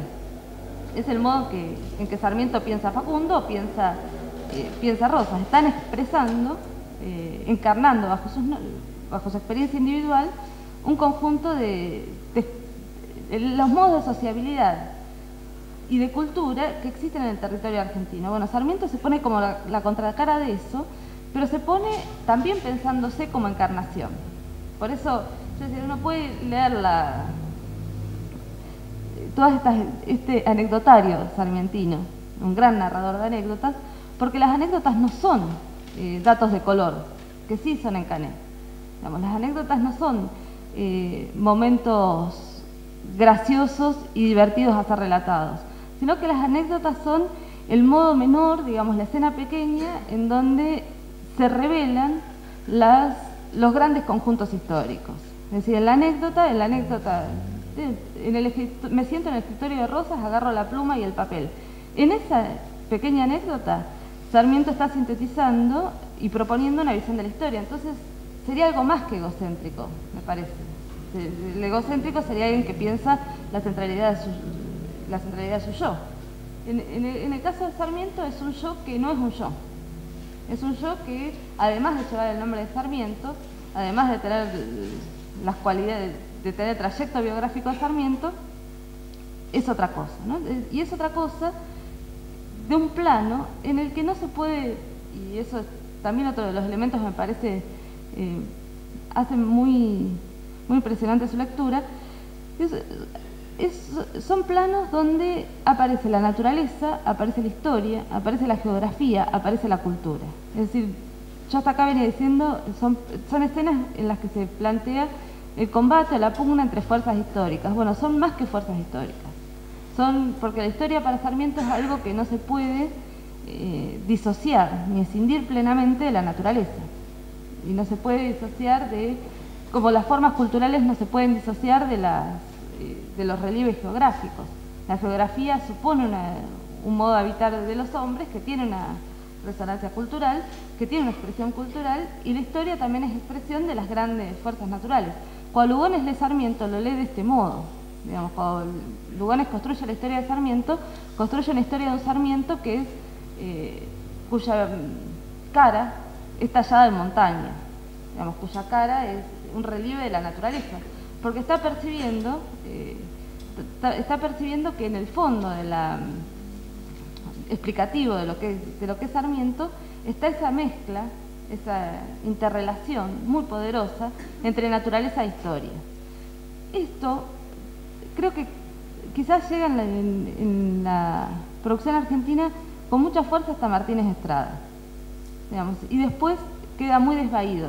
En general el ensayo la literatura pensaron menos la imbricación de la naturaleza con la vida de los hombres de lo que fue pensada en el siglo XIX y de, lo que podría ser fuerte fuertemente pensada en, en, en, la obra de Sarmiento. Yo decía Lugones. Lugones que volveremos en, en algún otro encuentro, no, no, me interesa detenerme mucho allí, pero un Lugones que, que, intentó pensar estos problemas en relación a la obra de Sarmiento y que también tuvo, eh, pensó la historia eh, al modo del, conflicto y del duelo. Lugones tiene un texto eh, de 1897, es decir, muy temprano, muy joven, Lugones, que se llama El Sable, un artículo periodístico muy pequeño, donde hace un elogio de las guerras de la independencia y de Rosas. Y dice, y elogia esos momentos, que son los, esos momentos bélicos de la historia argentina, diciendo, son los momentos, son los años de guerra abierta. Son los años de guerra abierta cruel, pero varonil. este del mundo de lo cruel, de, la crueldad viril, eh, de la guerra como escenario de la crueldad viril, también nos pone, me parece, en la situación del duelo. Es decir, del duelo y de algo que ya aparece con mucha claridad en el momento en que, en que Lugones escribe, que es la coreografía del duelo. Es decir, el duelo todavía existente como rito varonil, como rito caballeresco, pero también asociado a formas deportivas, a la esgrima. y, había la esgrima como campo, en textos de fines, del 1900, por ejemplo, en un texto de 1900 se elogia, en, una revista, se elogia la esgrima por, una razón bien interesante, que es en la esgrima, un texto de César Viale, eh, se produce una profesionalización de la espada, una profesionalización del ataque. Entonces cuando los hombres tienen un aprendizaje que los lleva al campo de la profesión en el uso de las armas, eh, corren menos riesgos de matar innecesariamente. Entonces, allí tendríamos, para seguir pensando en términos de escenas, de la escena de la crueldad mayor de la guerra, y donde la sangre necesariamente debe correr, del sable puesto en esa situación, digamos, el momento, el momento del rosismo como momento de la guerra, al momento del duelo como enfrentamiento entre caballeros, en, función de... No cualquiera podía tener un duelo, digamos, el duelo, recordemos que estaba eh, sustraído del Código Penal, digamos, se podía matar en duelo, eh, no era un asesinato, al momento de la esgrima como construcción, como ritualización de ese momento honorífico, como ritualización, como coreografía y como eh, diría, como aprendizaje que lleva a una cierta profesión. No se vuelve deporte lo que antes era el momento de la crueldad.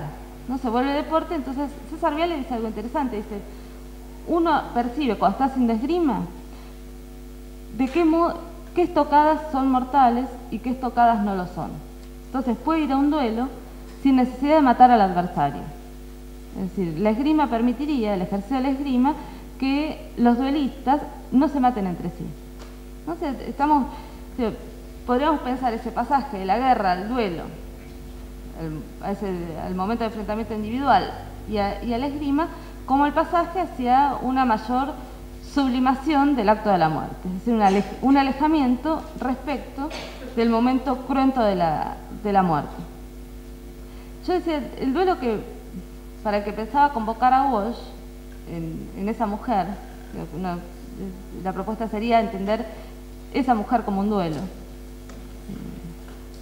Entenderlo como un, como un duelo ya eh, con armas muy singulares y pensar allí en el duelo narrado por Walsh, ¿qué pasa con lo que habíamos venido interrogando a partir de Sarmiento? Es decir, ¿qué pasa con la historia? Si esos duelistas son o no eh, agentes de la historia, si esos duelistas están expresando fuerzas que los exceden, los arrasan y los, los obligan a ser meramente encarnaciones de esas fuerzas, o si Walsh eh, en ese relato está, está poniendo una idea de duelo eh, que es diferente a la anterior. uno hoy decía, ¿de qué modo pueden eh, circular en esa tradición enorme, aunque no tan antigua, cultural que es la literatura argentina? Y también puede hacerlo al modo de Sarmiento, ¿no? al modo de las anécdotas, de, las pequeñas escenas. Y, de algún modo nombré Lugones eh, con el sable, no solo por, esa idea, ese modo en que Lugones piensa las armas antes de volver a pensar las armas en un sentido eh, políticamente muy signado como lo hace en los años 20, de qué modo piensa las armas ese primer Lugones, porque me parecía que Lugones, gran lector de Sarmiento, gran biógrafo de Sarmiento, fascinado con la figura de Sarmiento, es quizás uno de los nombres claves para pensar una secuencia de historias en la literatura argentina, que es una secuencia de historias que nunca deja de tener su momento trágico, que nunca deja de tener su amenaza de muerte al costado. No esa amenaza que no estaba en Cané, insisto, que no está en la literatura de Cané y que sí está esa amenaza de muerte en muchas otras literaturas. En el caso de Lugones, eh, una nieta de Lugones, una de sus nietas, es una desaparecida, muere en la ESMA. Bueno, esa mujer, Piri Lugones, nieta del poeta, eh, esa mujer fue compañera de Rodolfo Walsh. Son las, también las escenas que constituyen a la literatura argentina como, una trama de, ecos. ¿no? Lectores muy antagónicos entre sí, escritores cuyas literaturas tienen eh, una fuerza bien distinta y con pertenencias político-ideológicas muy distintas, y a partir de sus nombres se pueden eh, configurar ciertos eslabones de una cadena que atraviesa la literatura y lo que no es literatura, la literatura y los cuerpos, ¿no? la literatura y, la historia, todo eso que Sarmiento intentaba que fuera parte misma de la escritura. Bueno, Walsh, eh, eh, los que ya hayan leído el cuento, uno puede leer ese cuento como un ejercicio de esgrima. Es un cuento donde hay estocadas y donde las personas que están incluidas e, en, ese duelo disputan algo.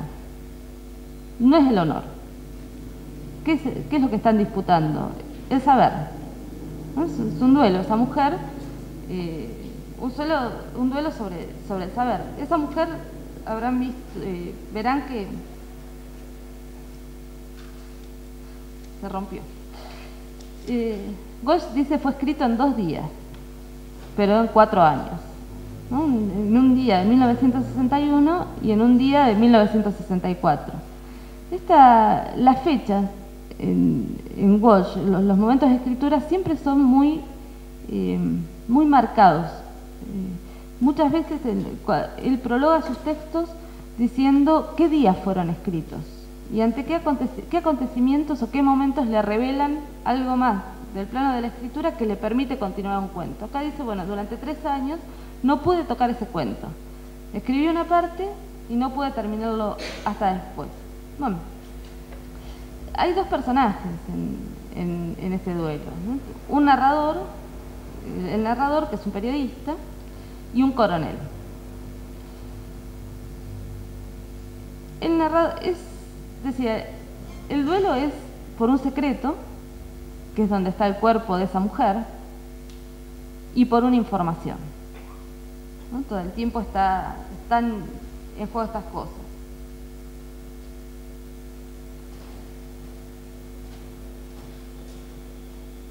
El coronel busca unos nombres, unos papeles que acaso yo tenga, dice el narrador.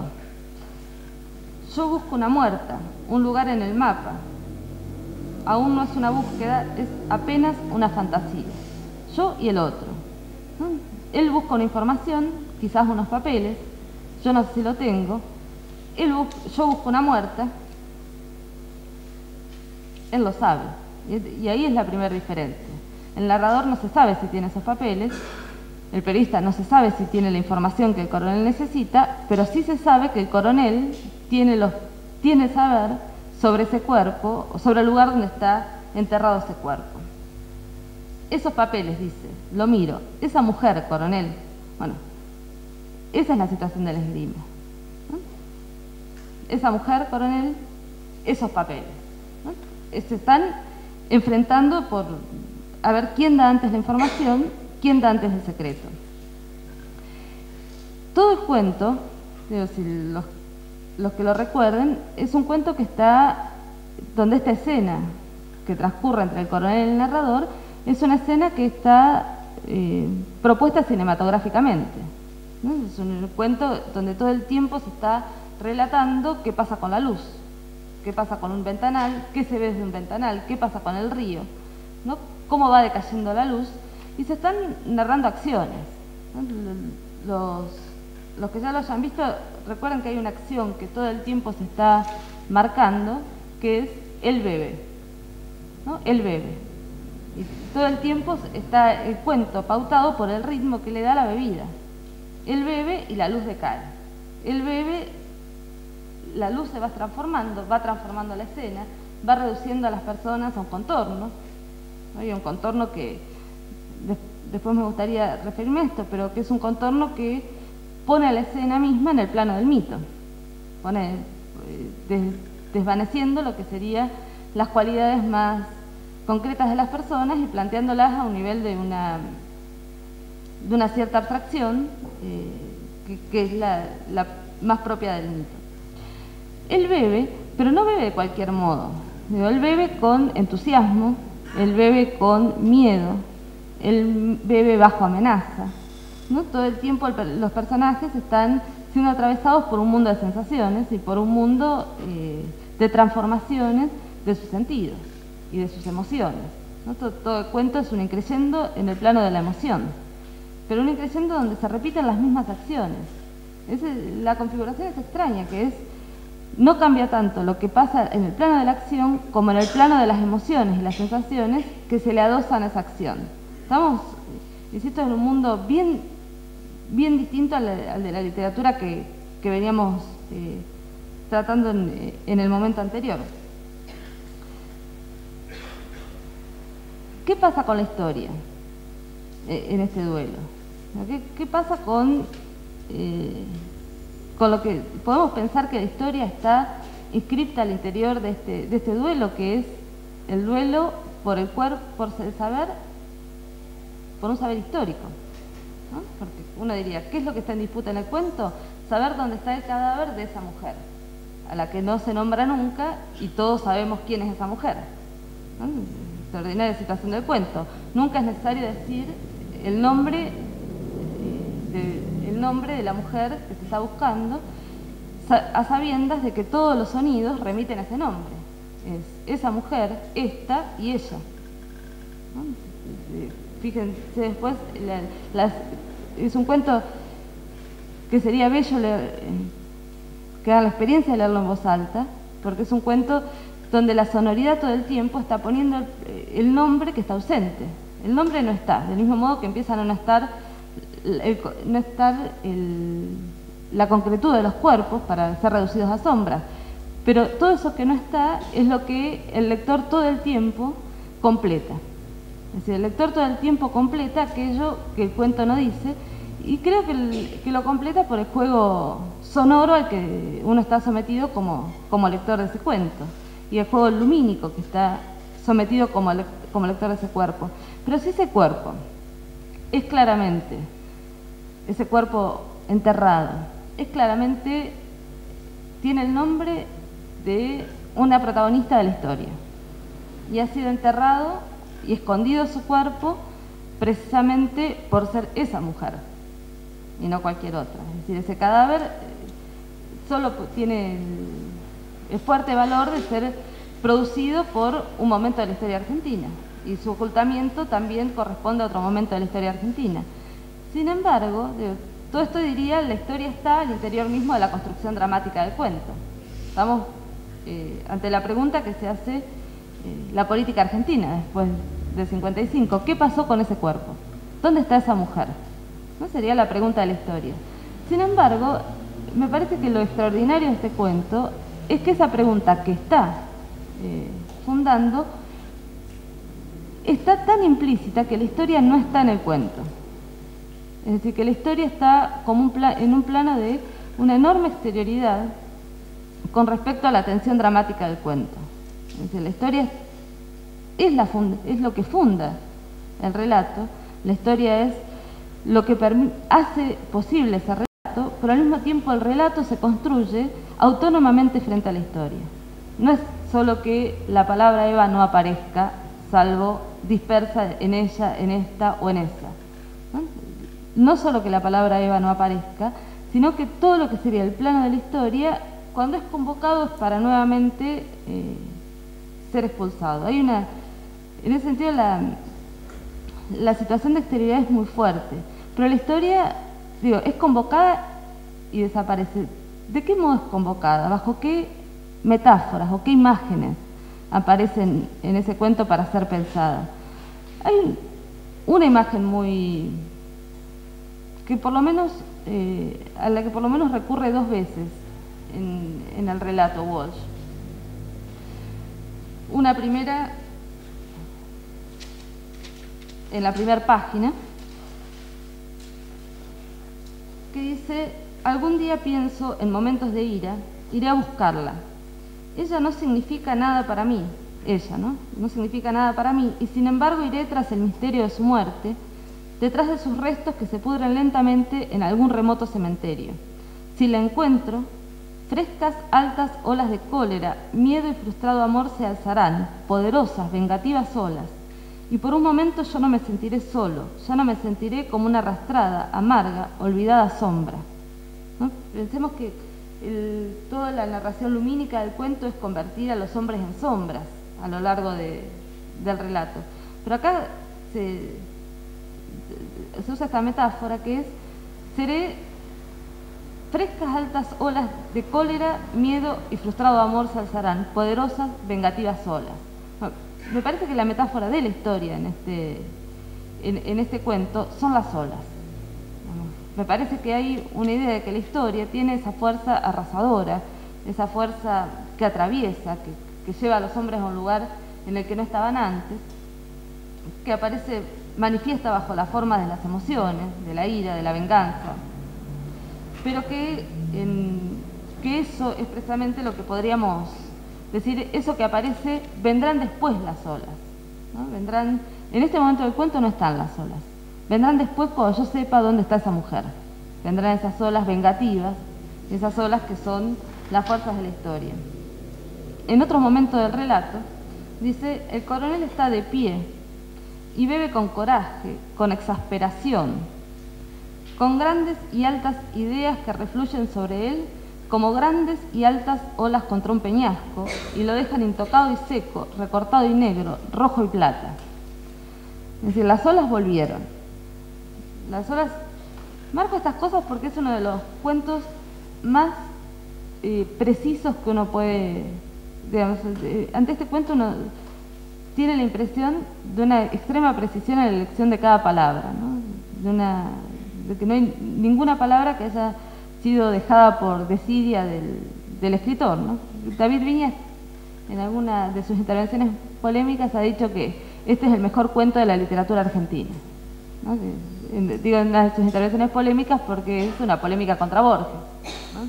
Si Borges es el, el autor canonizado como el, mayor escritor de cuentos de, de nuestra literatura, Viñas dice no, porque hay un cuento, un cuento que Borges no pudo escribir eh, y que, lo escribió Walsh y que es esa mujer, ¿no? señalando que ese cuento donde la orfebrería de la orfebrería con la que lo construye es absolutamente perfecta. Este, bueno, vuelven las olas, entonces no, diríamos, bueno, otra vez usa lo mismo. Decimos, ¿qué está diciendo Walsh con olas eh, en un caso y otro? Bueno, acá la, imagen, eh, la imagen que construye Walsh, ¿qué es ese coronel parado como si estuviera eh, en lo alto, intocado, seco, recortado y negro, rojo y plata? Es la estatua de un prócer. Es decir, el momento de eh, esa descripción nos pone ante el coronel asumido a sí mismo como en el nivel de procerato histórico. Está colo- colocándose y registrado por el narrador como alguien que da, eh, puede ser puesto bajo el relieve de una estatua, ¿no? puede ser puesto a nivel de la, de la gran estatuaria de una historia nacional. Pero entonces ahí sí tendríamos la historia en esa gran metáfora de las olas, de un lado como la historia animando las formas más cristalizadas de- del recuerdo y de las formas más oficiales, si quieren, de la, de la inscripción en la historia, quién en cada momento puede ponerse como prócer y ser intocado. Y frente a eso, las olas vengativas. ¿no? Las olas, las olas de la cólera, de la ira, de la venganza. Bueno, ahí sí Walsh está convocando a la historia, digamos, diciendo hay dos modos de vivir el vínculo con la historia, dos modos de vivir el vínculo con los acontecimientos, y en este caso con ese acontecimiento singular que es el ocultamiento de un cadáver, y, ese, ese modo de vivirlo define bandos contrarios. ¿no? Ese, modo de vincularse con las olas define bandos contrarios. Pero insisto, está esa historia allí, con esa metáfora marítima. volvemos al terreno de una, de una, convoca- de una invocación a la, naturaleza para poder pensar la historia. La historia aparece bajo formas naturales, bajo los impulsos de la naturaleza. Y, y al mismo tiempo, el relato sigue volviendo a poner en exterioridad esas olas. Es decir, están en exterioridad porque no lo tocan. Esas olas chocan contra un peñasco, pero al coronel no lo tocan. Del mismo modo que las olas anteriores eran olas que vendrán en el momento posterior, pero que no están en ese momento incluidas en la escena. Entonces, a partir de allí yo diría lo que está haciendo esa operación que, est- que está haciendo Walsh es de colocarnos ante una escena cuya comprensión final está en el orden de la historia, cuya fundación está en el orden de la historia, pero abstrayéndola de la historia. y ahí eh, plantea algo muy, muy innovador, me parece, en la, en la construcción de un relato eh, muy innovador y muy distinto a cualquier eh, tipo de escrituras de las que se dan en llamar novela histórica, digamos, o, que toma la historia como eh, momento de la ficcionalización. Este, porque el modo que lo trae acá Walsh es trayéndola como tensión. Hay una tensión entre lo que se puede relatar a nivel de la escena y la existencia misma de las fuerzas históricas. Tensión que no aparece nunca en Sarmiento, digamos, donde una y otra cosa eh, son indistinguibles. La escena es esa escena porque están las fuerzas históricas animándola. En Walsh se produce esta exterioridad. En el, momen- el momento de esgrima, eh, en este esgrima, en este duelo, eh, en este duelo entre dos hombres, por el saber, por la información, por el secreto, es un, momento eh, muy tenso del- del final de este cuento. Dice, el coronel ya ha tomado mucho, ya bebió, bebió, bebió, él bebe, él bebe, él bebe, él bebe, eh, la luz ha caído, se ven contornos, y se produce esta, este intercambio de lances y de estocadas. ¿La sacaron del país? Sí. ¿La sacó usted? Sí. ¿Cuántas personas saben? Dos. ¿El viejo sabe? Se ríe. Creo que sabe. Cree que sabe, perdón. ¿Dónde? No contesta. Hay que escribirlo, publicarlo. Sí, algún día. Parece cansado, remoto. Ahora me exaspero. ¿No le preocupa la historia? Yo escribo la historia y usted queda bien. Bien para siempre, coronel. La lengua se le pega al paladar, a los dientes. Cuando llegue el momento, usted será el primero. No, ya mismo. Piense, Paris Match, Live, cinco mil dólares, diez mil, lo que quiera. Se ríe. ¿Dónde, coronel? ¿Dónde? Se para despacio, no me conoce. Tal vez va a preguntarme quién soy, qué hago ahí. Y mientras salgo derrotado, pensando que tendré que volver o que no volveré nunca, mientras mi dedo índice inicia ya ese infatigable itinerario por los mapas, uniendo isolletas, probabilidades, complicidades, mientras sé que ya no me interesa y que justamente no moveré un dedo, ni siquiera en el mapa, la voz del coronel me alcanza como una revelación. Es mía, dice simplemente. Esa mujer es mía. Los lances son bien interesantes por la inversión que se produce en esta escena. Es decir, el periodista revela esa exterioridad con la historia, no importa políticamente, digamos, eh, qué pasa con esa mujer. Importa Paris Match, importa Life, no importa, y se puede someter esa, esa situación, ese, el dilema de ese secreto, se lo puede someter a una transacción mercantil. ¿Cuánto quiere? ¿Cuánto quiere? 10.000. ¿Cuánto, cuánto, ¿Por cuánto me diría dónde está esa mujer y le garantizo un reportaje en la mayor revista que se le ocurra? Bueno, el periodista se revela como alguien que está atrás de la primicia. Y ahí, eh, periodista narrador, no sé si, recuerdan la, el modo en que Walsh narraba su conversión, eh, su conversión en escritor político, en relación a, la, a su investigación de Operación Masacre, que, que, lo narra como un momento de conversión, porque cuando él dice, estaba jugando al ajedrez, escribía relatos bien ficcionales, y escuché la frase, hay un fusilado que vive.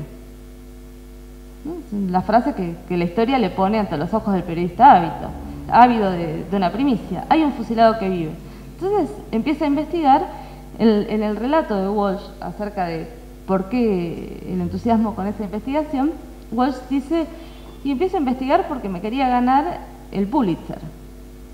Quería hacer una investigación sobre que fuera tan exitosa, que tuviera tal grado de primicia, que me pudiera ganar un gran premio como periodista.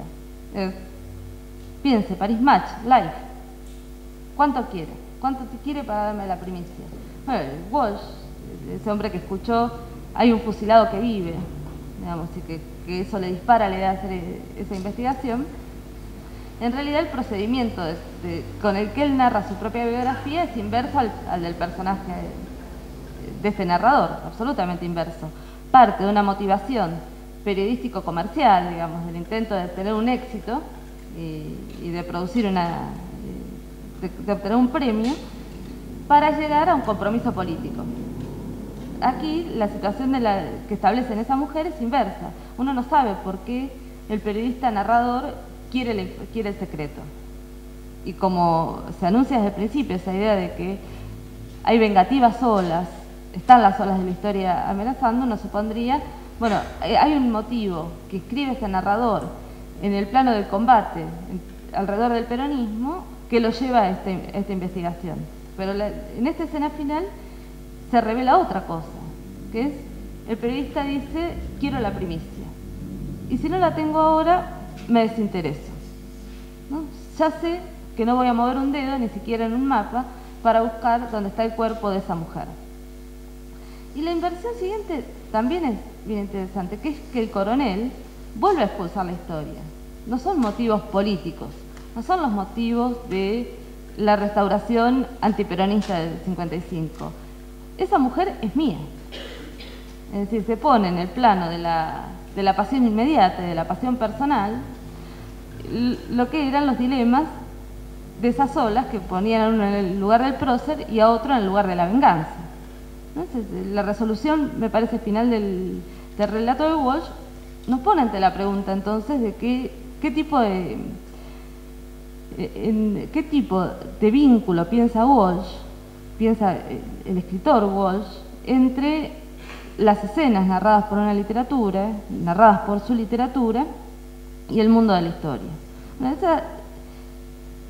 En, esta, en, este, en este cuento, digo, todo el esquema narrativo, decía yo, es un esquema fuertemente cinematográfico. Es un cuento que uno puede leer como mirar, ¿no? mirar esos juegos de luces, mirar esos contornos, mirar esos, lances, mirar esas, eh, atender esas acciones, a esos diálogos muy rápidos. Está el, el imaginario con el uno podría decir es un cuento que está sometido a un montaje, está sometido a un tipo de montaje que es el montaje del cine. Que, es el tipo de montaje que hace que el cine nos ponga ante situaciones de alta carga dramática, de suspenso y de acción inmediata. Bueno, y es el cine, y yo diría ahí, no es cualquier cine, sino está ese cine norteamericano. Es, es, el tipo de cine norteamericano el que uno podría decir está apareciendo bajo la, la reescritura, la escritura de Walsh. Alguien que por otro lado tenía una eh, fuerte, fuerte conocimiento y fuerte pasión por la literatura policial norteamericana. ¿no? Entonces, y, me parece que también podríamos ver allí el entusiasmo por ciertos modos del montaje cinematográfico. Cuando, Eisenstein, el director de, de cine soviético, criticaba al cine norteamericano eh, diciendo que en el cine, de- esto en los años 20, que en el cine norteamericano las oposiciones aparecían bajo la forma de duelos individuales. ¿no? Que las oposiciones, eh, lo que Eisenstein diría la dialéctica, la gran dialéctica de la lucha entre, entre las clases, que esa- esas oposiciones, en vez de aparecer plasmadas como oposiciones entre fuerzas, aparecen, dice, solo bajo las formas de duelos individuales, donde las, las motivaciones colectivas encubren motivos íntimamente personales donde las, eh, incluso los momentos en que esos personajes parecen estar movidos por razones que hacen al plano de la gran historia y del- de, de- de la dialéctica mayor, incluso en esos momentos están encubriendo, dice, motivos que son puramente personales, que son motivos del orden de lo íntimo. Bueno, ¿cómo no? eh, me parece que podríamos apelar a, esa idea e- con ese final de esa mujer. Digo, la, inscripción, el modo de tratar con ese fundamento histórico que, que cindía el país y, producía un antagonismo mayúsculo entre peronismo y antiperonismo, y que parecía que ponía a los, personajes como encarnaciones de uno y otro, y en disputa por un secreto que era vital para, para resolver ese, antagonismo, cómo no, al final del cuento se revelan como motivos íntimamente personales, es decir, como motivos eh, que cada uno de esos personajes tiene para disputar el saber o el saber del lugar donde está el cuerpo. Bueno, Ah, En función de eso es que diría, me parece que uno podría pensar que eh, Walsh nos pone ante la escena de un duelo donde el vínculo con la historia está muy relativizado, porque lo que se revela finalmente en, este duelo es que los duelistas tienen esos motivos íntimos. Cuando Eisenstein critica esto del cine norteamericano, dice, el cine norteamericano es un cine de duelos. Todo el tiempo lo que uno percibe es, y fundamental, eh, son acciones, es un cine de comportamientos, es un cine, de acciones rápidas, y donde todo el tiempo se establece la, dra- la dramática de ese cine en duelos entre individuos, en enfrentamientos entre individuos. Bueno, Walsh, podríamos decir, está pensando en ese plano, la resolución de esa mujer. Pero tendríamos una situación extraña si tomamos estos textos, que es precisamente Walsh escindiendo el duelo de la política y la historia. Precisamente Walsh separando el momento del relato de la literatura respecto de las fuerzas históricas. Y veníamos de, de pensar a Sarmiento en el plano opu- opuesto, como alguien que cuando piensa el duelo, lo piensa como forma material y directa de un combate mayor. Es decir, Sarmiento estaría en el, en el plano de cómo construye su- sus narraciones, más del lado de un Eisenstein, tratando de mostrar en cada momento cómo esos individuos en realidad están siendo atravesados, están poniendo en juego una, una, dramática mayor, y Walsh, lo que ha quedado, o que es, quizás el modelo mayúsculo de, articulación del mundo de la, literatura con el mundo de la política, construye un relato donde logra abstraer una escena respecto de la otra, donde logra constituir un duelo separado de esas otras fuerzas. El- pensándolo así, me parece que, que nos permitiría también hacer el otro movimiento que veríamos haciendo. ¿Hasta qué punto esta, estos pequeños fragmentitos o este relato de, de Walsh nos permiten pensar la obra de Walsh? Digamos, del mismo modo que decíamos de mo- si esas anécdotas de Sarmiento nos permitían una semblanza de Sarmiento o la ligereza de Canet nos permitían una idea de lo que es el intelectual, el, escritor amparado. ¿no? Bueno, yo tengo la impresión de que hay una fuerza singular en la escritura de Walsh, que precisamente radica en el modo en que pone en tensión y en una tensión que por momentos va hacia la esterilidad y por momentos la, pone en crisis, que pone en tensión lo que sería esa dimensión de las, de las escenas individuales, uno de los planos, digamos, la, dimensión de eh, la historia biográfica de los individuos, y la otra dimensión que es la dimensión de la historia con sus conflictos, sus antagonismos, eh, sus olas y sus fuerzas arrasadoras. Incluso que esta tensión, digo, en Operación Masacre, eh, el gran texto eh, de la conversión de Walsh, el gran texto de la, de la investigación de Walsh en el plano de la política, que recuerden después de eso, Walsh tiene, durante mucho tiempo sostiene que no se puede escribir literatura. Y, duda mucho de que tenga alguna, algún sentido seguir escribiendo literatura. Hay un problema que él todo el tiempo percibe en relación a qué pasa con las transformaciones que ocurren a nivel de la política, qué, transformación, qué conmociones hay en el plano de la historia y qué posibilidades tiene el escritor de construir ficción. Bueno, todo eso...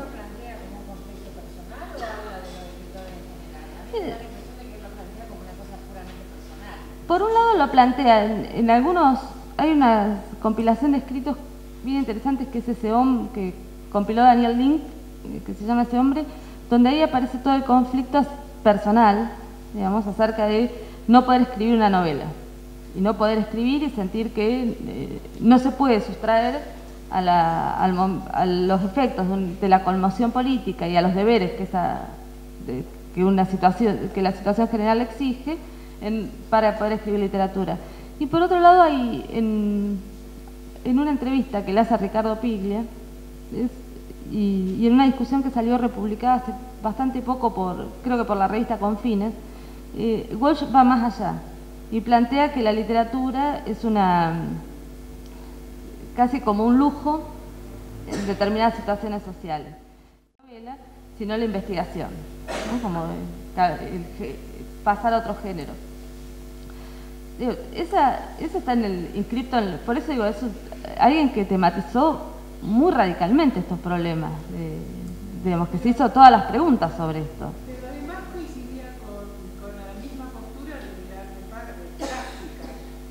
Era la de la galería, de la señora gorda que compra cuadros, de, del cuadro bidimensional, etcétera, de la de vanguardia del cine del 60. Sí. Que es más o menos coincidente con estos años. Sí, digamos. una postura general de todas de varias artes que tenían esos principios.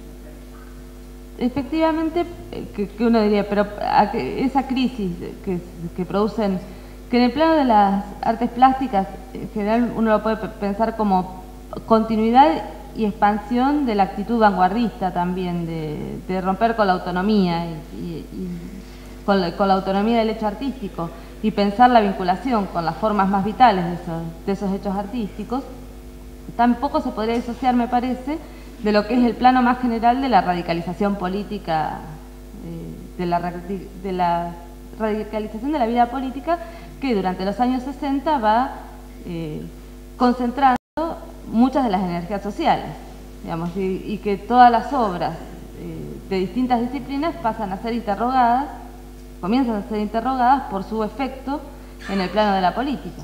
Digo que no era, no era tan habitual en los momentos anteriores, incluso no era tan habitual en otros momentos donde, donde sí hubo experiencias vanguardistas, y sí es muy vital en los años 60 eso, que es interrogar a todas las producciones en función de eh, su condición, eh, de, su capacidad de expandir, limitar o ahondar formas de lucha donde eh, son profundamente modificadas, me parece, las, formas de escritura y las formas de, expresión más bien en general.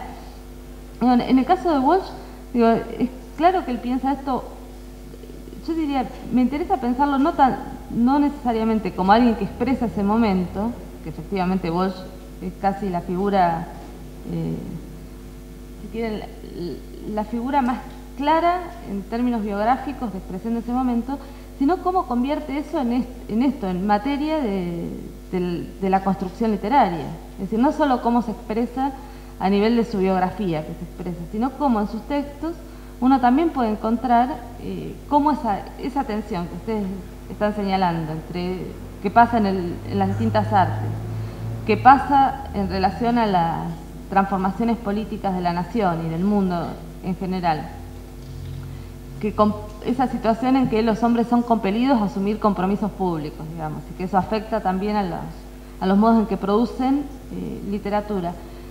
Cómo esa situación uno la puede encontrar como, si quieren, como insumo de productividad literaria y no solo como negación de la literatura. Decir, uno podría decir, una tendencia de Walsh es decir, no está, dejo de escribir o escribo otras cosas. Y esa es una de las resoluciones. Pero también la otra, que es poder ver esas tensiones al interior mismo de, las, de los escritos. Yo decía, porque si acá está ese drama de convocar a la historia y volverla exterior, está ese drama y, está toda la... Eh, está el drama de convocar la historia, volverla exterior, está el drama de cómo convocarla y qué son los hombres frente a la historia, si esos hombres están movidos o no, y finalmente la resolución del, del relato es que sí están movidos por razones que son muy menores al plano de la historia, que tienen que ver con el éxito, con el dinero, con la pasión personal. Y está otro problema que, no, no termino de decir, que es, me parece que el otro problema que está atravesando este relato y que tiene una fuerza bien considerable en, su forja literaria, es el problema del mito. ¿qué es un cadáver que no, se, que no está? ¿Qué es un cadáver que está ausente? ¿Qué es ese cuerpo que materialmente se vuelve inconseguible? ¿Y qué son? Me parece el juego lumínico, el juego del secreto en, el, en todo el relato de Walsh, ese juego lumínico que los va convirtiendo a ellos en sombras, y la, la, opacidad sobre el secreto, que nunca se sepa dónde está un cadáver, coloca todo el tiempo el problema en el plano del mito. Es decir, en el plano de y diría así, ¿qué fuerzas anímicas están en juego en la historia, que son fuerzas relativamente incognoscibles y eh, que son las que siempre organizan la disputa. y me parece que la idea de mito que uno puede vislumbrar en, esta, en este momento, de la, en este relato, es la idea de que el mito finalmente, si tiene esa capacidad de provocar disposiciones anímicas, funcionales y, acciones, si tiene esa capacidad es precisamente por lo que tiene de secreto, por lo que tiene de inaccesible, por lo que tiene de despertar eh, eh, una oscura, un oscuro vínculo con él. Y que ese, uno podría decir, el plano del mito también es un plano que pone el cuento en una situación muy rara es decir, una situación que es histórica y al mismo tiempo no lo es. Es decir, es histórica, por el mito es lo que anima las fuerzas de la historia. El mito de, esa mujer, la ausencia del cuerpo real de esa mujer colocada a nivel del mito, despierta formas de acción en la historia argentina. Despierta formas, en algún momento del cuento van a ver, despierta amenazas, despierta atentados, despierta búsquedas, despierta persecuciones. Despierta el, mito es algo que todo el tiempo despierta eh, fuerzas anímicas y disposiciones a la acción. Pero al mismo tiempo son, sí, pero al mismo tiempo el mito es tal porque queda sustraído de la historia. Sí, perdón. Claro. Porque si lo está llevando al nivel mito y es tan terriblemente individualista, digamos, es como terriblemente pesimista. ¿Es pesimista? Es terriblemente pesimista la visión del cuento Sí, a ver, sí. Ahora. Yo no creo que sea tan individualista, porque por ahí estaría bueno pensar también cuando Walsh ofrece 10 mil dólares. Walsh no tiene. No es Walsh. O sea, él no, él no tiene 10 mil dólares. Él lo que hace, él también le ofrece quedar bien ante la historia al, al coronel. O sea, le ofrece dos cosas. Él no tiene mil porque el tipo no tiene mil. Entonces, no creo que sea tan individualista, sino que él también, eso puede ser como un arma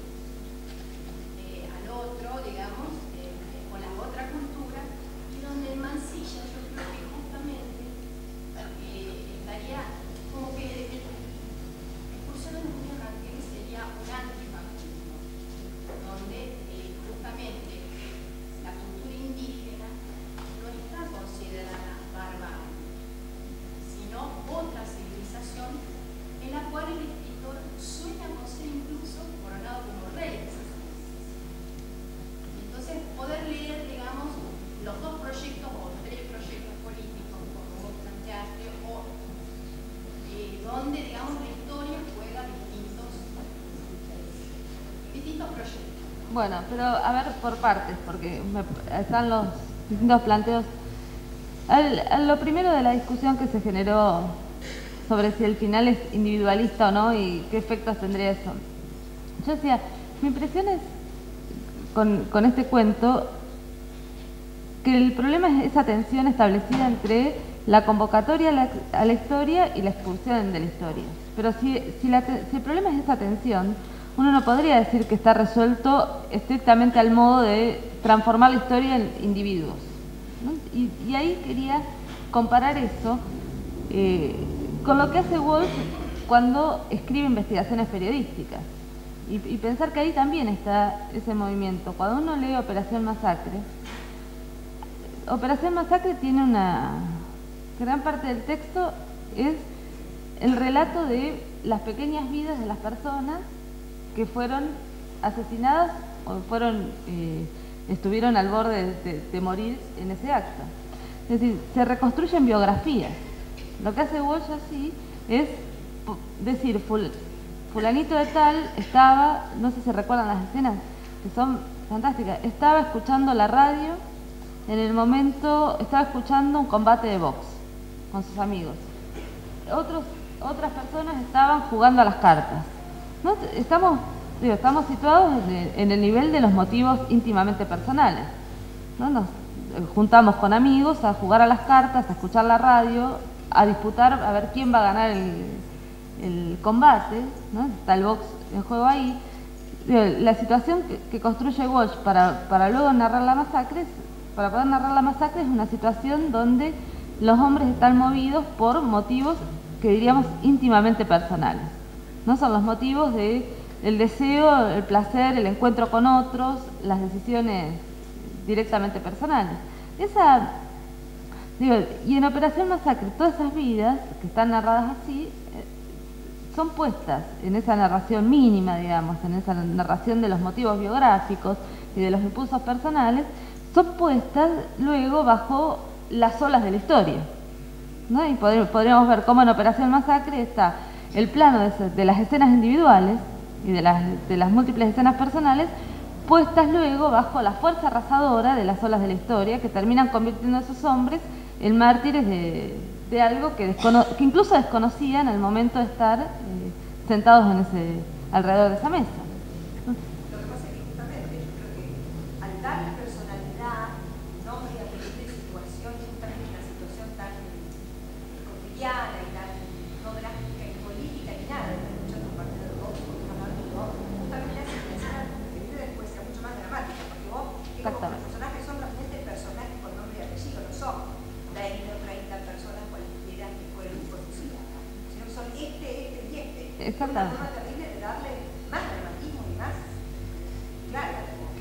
Exactamente, pero por eso digo, uno podría pensar el cuento en, diálogo con esos textos, en el sentido de que podríamos decir, por eso decía, no, me parece que el problema sea una resolución individualista, sino que el tema que está planteando Walsh es cómo, nuestras, cómo las vidas todo el tiempo son exteriores y no exteriores a la historia. Es decir, cómo, cómo todas las vidas, aun cuando aparezcan ser vidas que están organizadas en función de motivos íntimamente personales, son vidas que están atravesadas por el modo mayor en que transcurren las eh, que, transcurre un momento de la escena histórica. Bueno, eh, porque en esa mujer uno podría decir, bueno, esa mujer, claro que dice Paris Match, Life, el periodista que quiere tener éxito y el coronel que tiene un amor oscuro por el, por el cuerpo escondido. Están esos motivos personales, pero también son esos motivos personales los que, sin dejar de serlo, están fundando historia. Digamos, sin dejar de serlo, están fundando las condiciones mismas en las que se va a seguir desarrollando la historia. En ese sentido es como, podríamos, lo que Sarmiento resuelve al modo de la asimilación y la identidad, digamos que es el plano de los nombres propios y el plano de las fuerzas históricas, ¿no? por eso que decíamos, él es nombre propio de una fuerza, Rosas es nombre propio de una fuerza, en Walsh están planteados como planos que por momentos se repelen y por momentos se asocian. y me parece que eso, ese, eso uno puede encontrarlo en, en cuentos como en esta mujer, puede encontrarlo en las investigaciones más históricas de, Walsh, puede y puede encontrarlo en, los hechos biográficos, en un Walsh que firma con nombre propio y documento la carta a la Junta. hay todo el tiempo una remisión, digamos, que está ligada al problema del nombre propio, que está ligada al problema de la incursión subjetiva ante los hechos, al estar sentado jugando al ajedrez y escuchar una frase que, lleva a otro lado, pero que es, algo que no se resuelve al modo de la identidad y que le da una fuerza distinta a la de Sarmiento, que le da otra, otro modo de la escritura. ¿Qué, ¿Qué pasa cuando se sostiene la diferencia, o se sostiene la distancia como tensión y no como eh, réplica menor a un escenario mayor?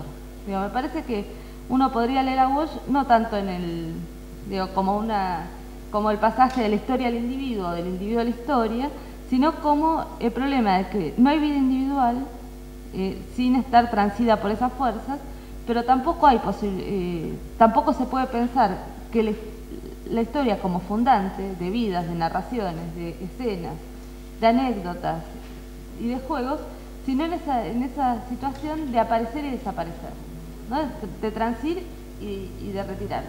Por eso cuento yo sugiero mucho que lo lean porque es un, cuento eh, muy extraordinario en cómo va planteando esas tensiones, que es eh, que hacen, eh, poner al cuento en una relación muy singular con la propia biografía, el propio modo de, concebir la escritura, la escritura en Walsh. Al, otro problema que, que señalaba recién, que es el problema de por qué decimos mito acá y no decíamos mito antes. ¿no? Porque en qué momentos uno una apelaría a la noción de mito para pensar eh, ciertas, ciertos modos de, la escritura que, se proponen al mismo tiempo como interpretaciones, como el caso, los casos que, había mencionado la compañera. Yo, tendría ahí una cierta reserva eh, al uso de la, de la idea de mito, pero una reserva que es no pensar al mito necesariamente como una ficción o como una mentira. No, no al modo piña, digamos, de los mitos de la historia argentina, no, no al modo en que, se piensa que, el mito es algo que opaca, oculta eh, una verdad que estaría, si el mito se corre y se rasgan sus velos, revelando lo que, lo, que hay atrás de él. Porque esa, digo, porque ese es un modo de pensar el mito, que está que tiene una larga secuencia, no podría decir, claro, si lo pensamos de ese modo, claro que Sarmiento, Mancilla o cualquier intérprete de la historia construye un modo que por generalización, por abstracción y por distorsión actúa velando diferencias concretas y detalles existentes. Pero también podríamos usar la noción de mito, no tanto en ese en ese sentido, de pensar al mito como lo que oculta o lo que opaca y lo que nos dejaría ver lo, efectivamente ocurrido, sino pensar el mito en ese plano que me parece que está apareciendo en el cuento de Walsh, que es qué pasa si consideramos al mito como algo que activa fuerzas y que activa fuerzas que, son fuerzas de muy distinta índole.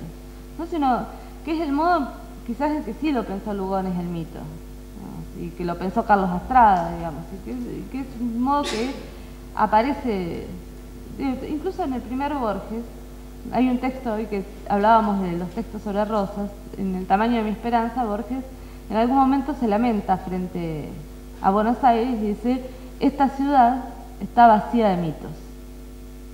Está vacía de mitos porque ya no hay un rosa. Borges, apasionado en aquel, creo que es del 27 el texto, eh, ya no hay un rosa que, que conmueva estas calles.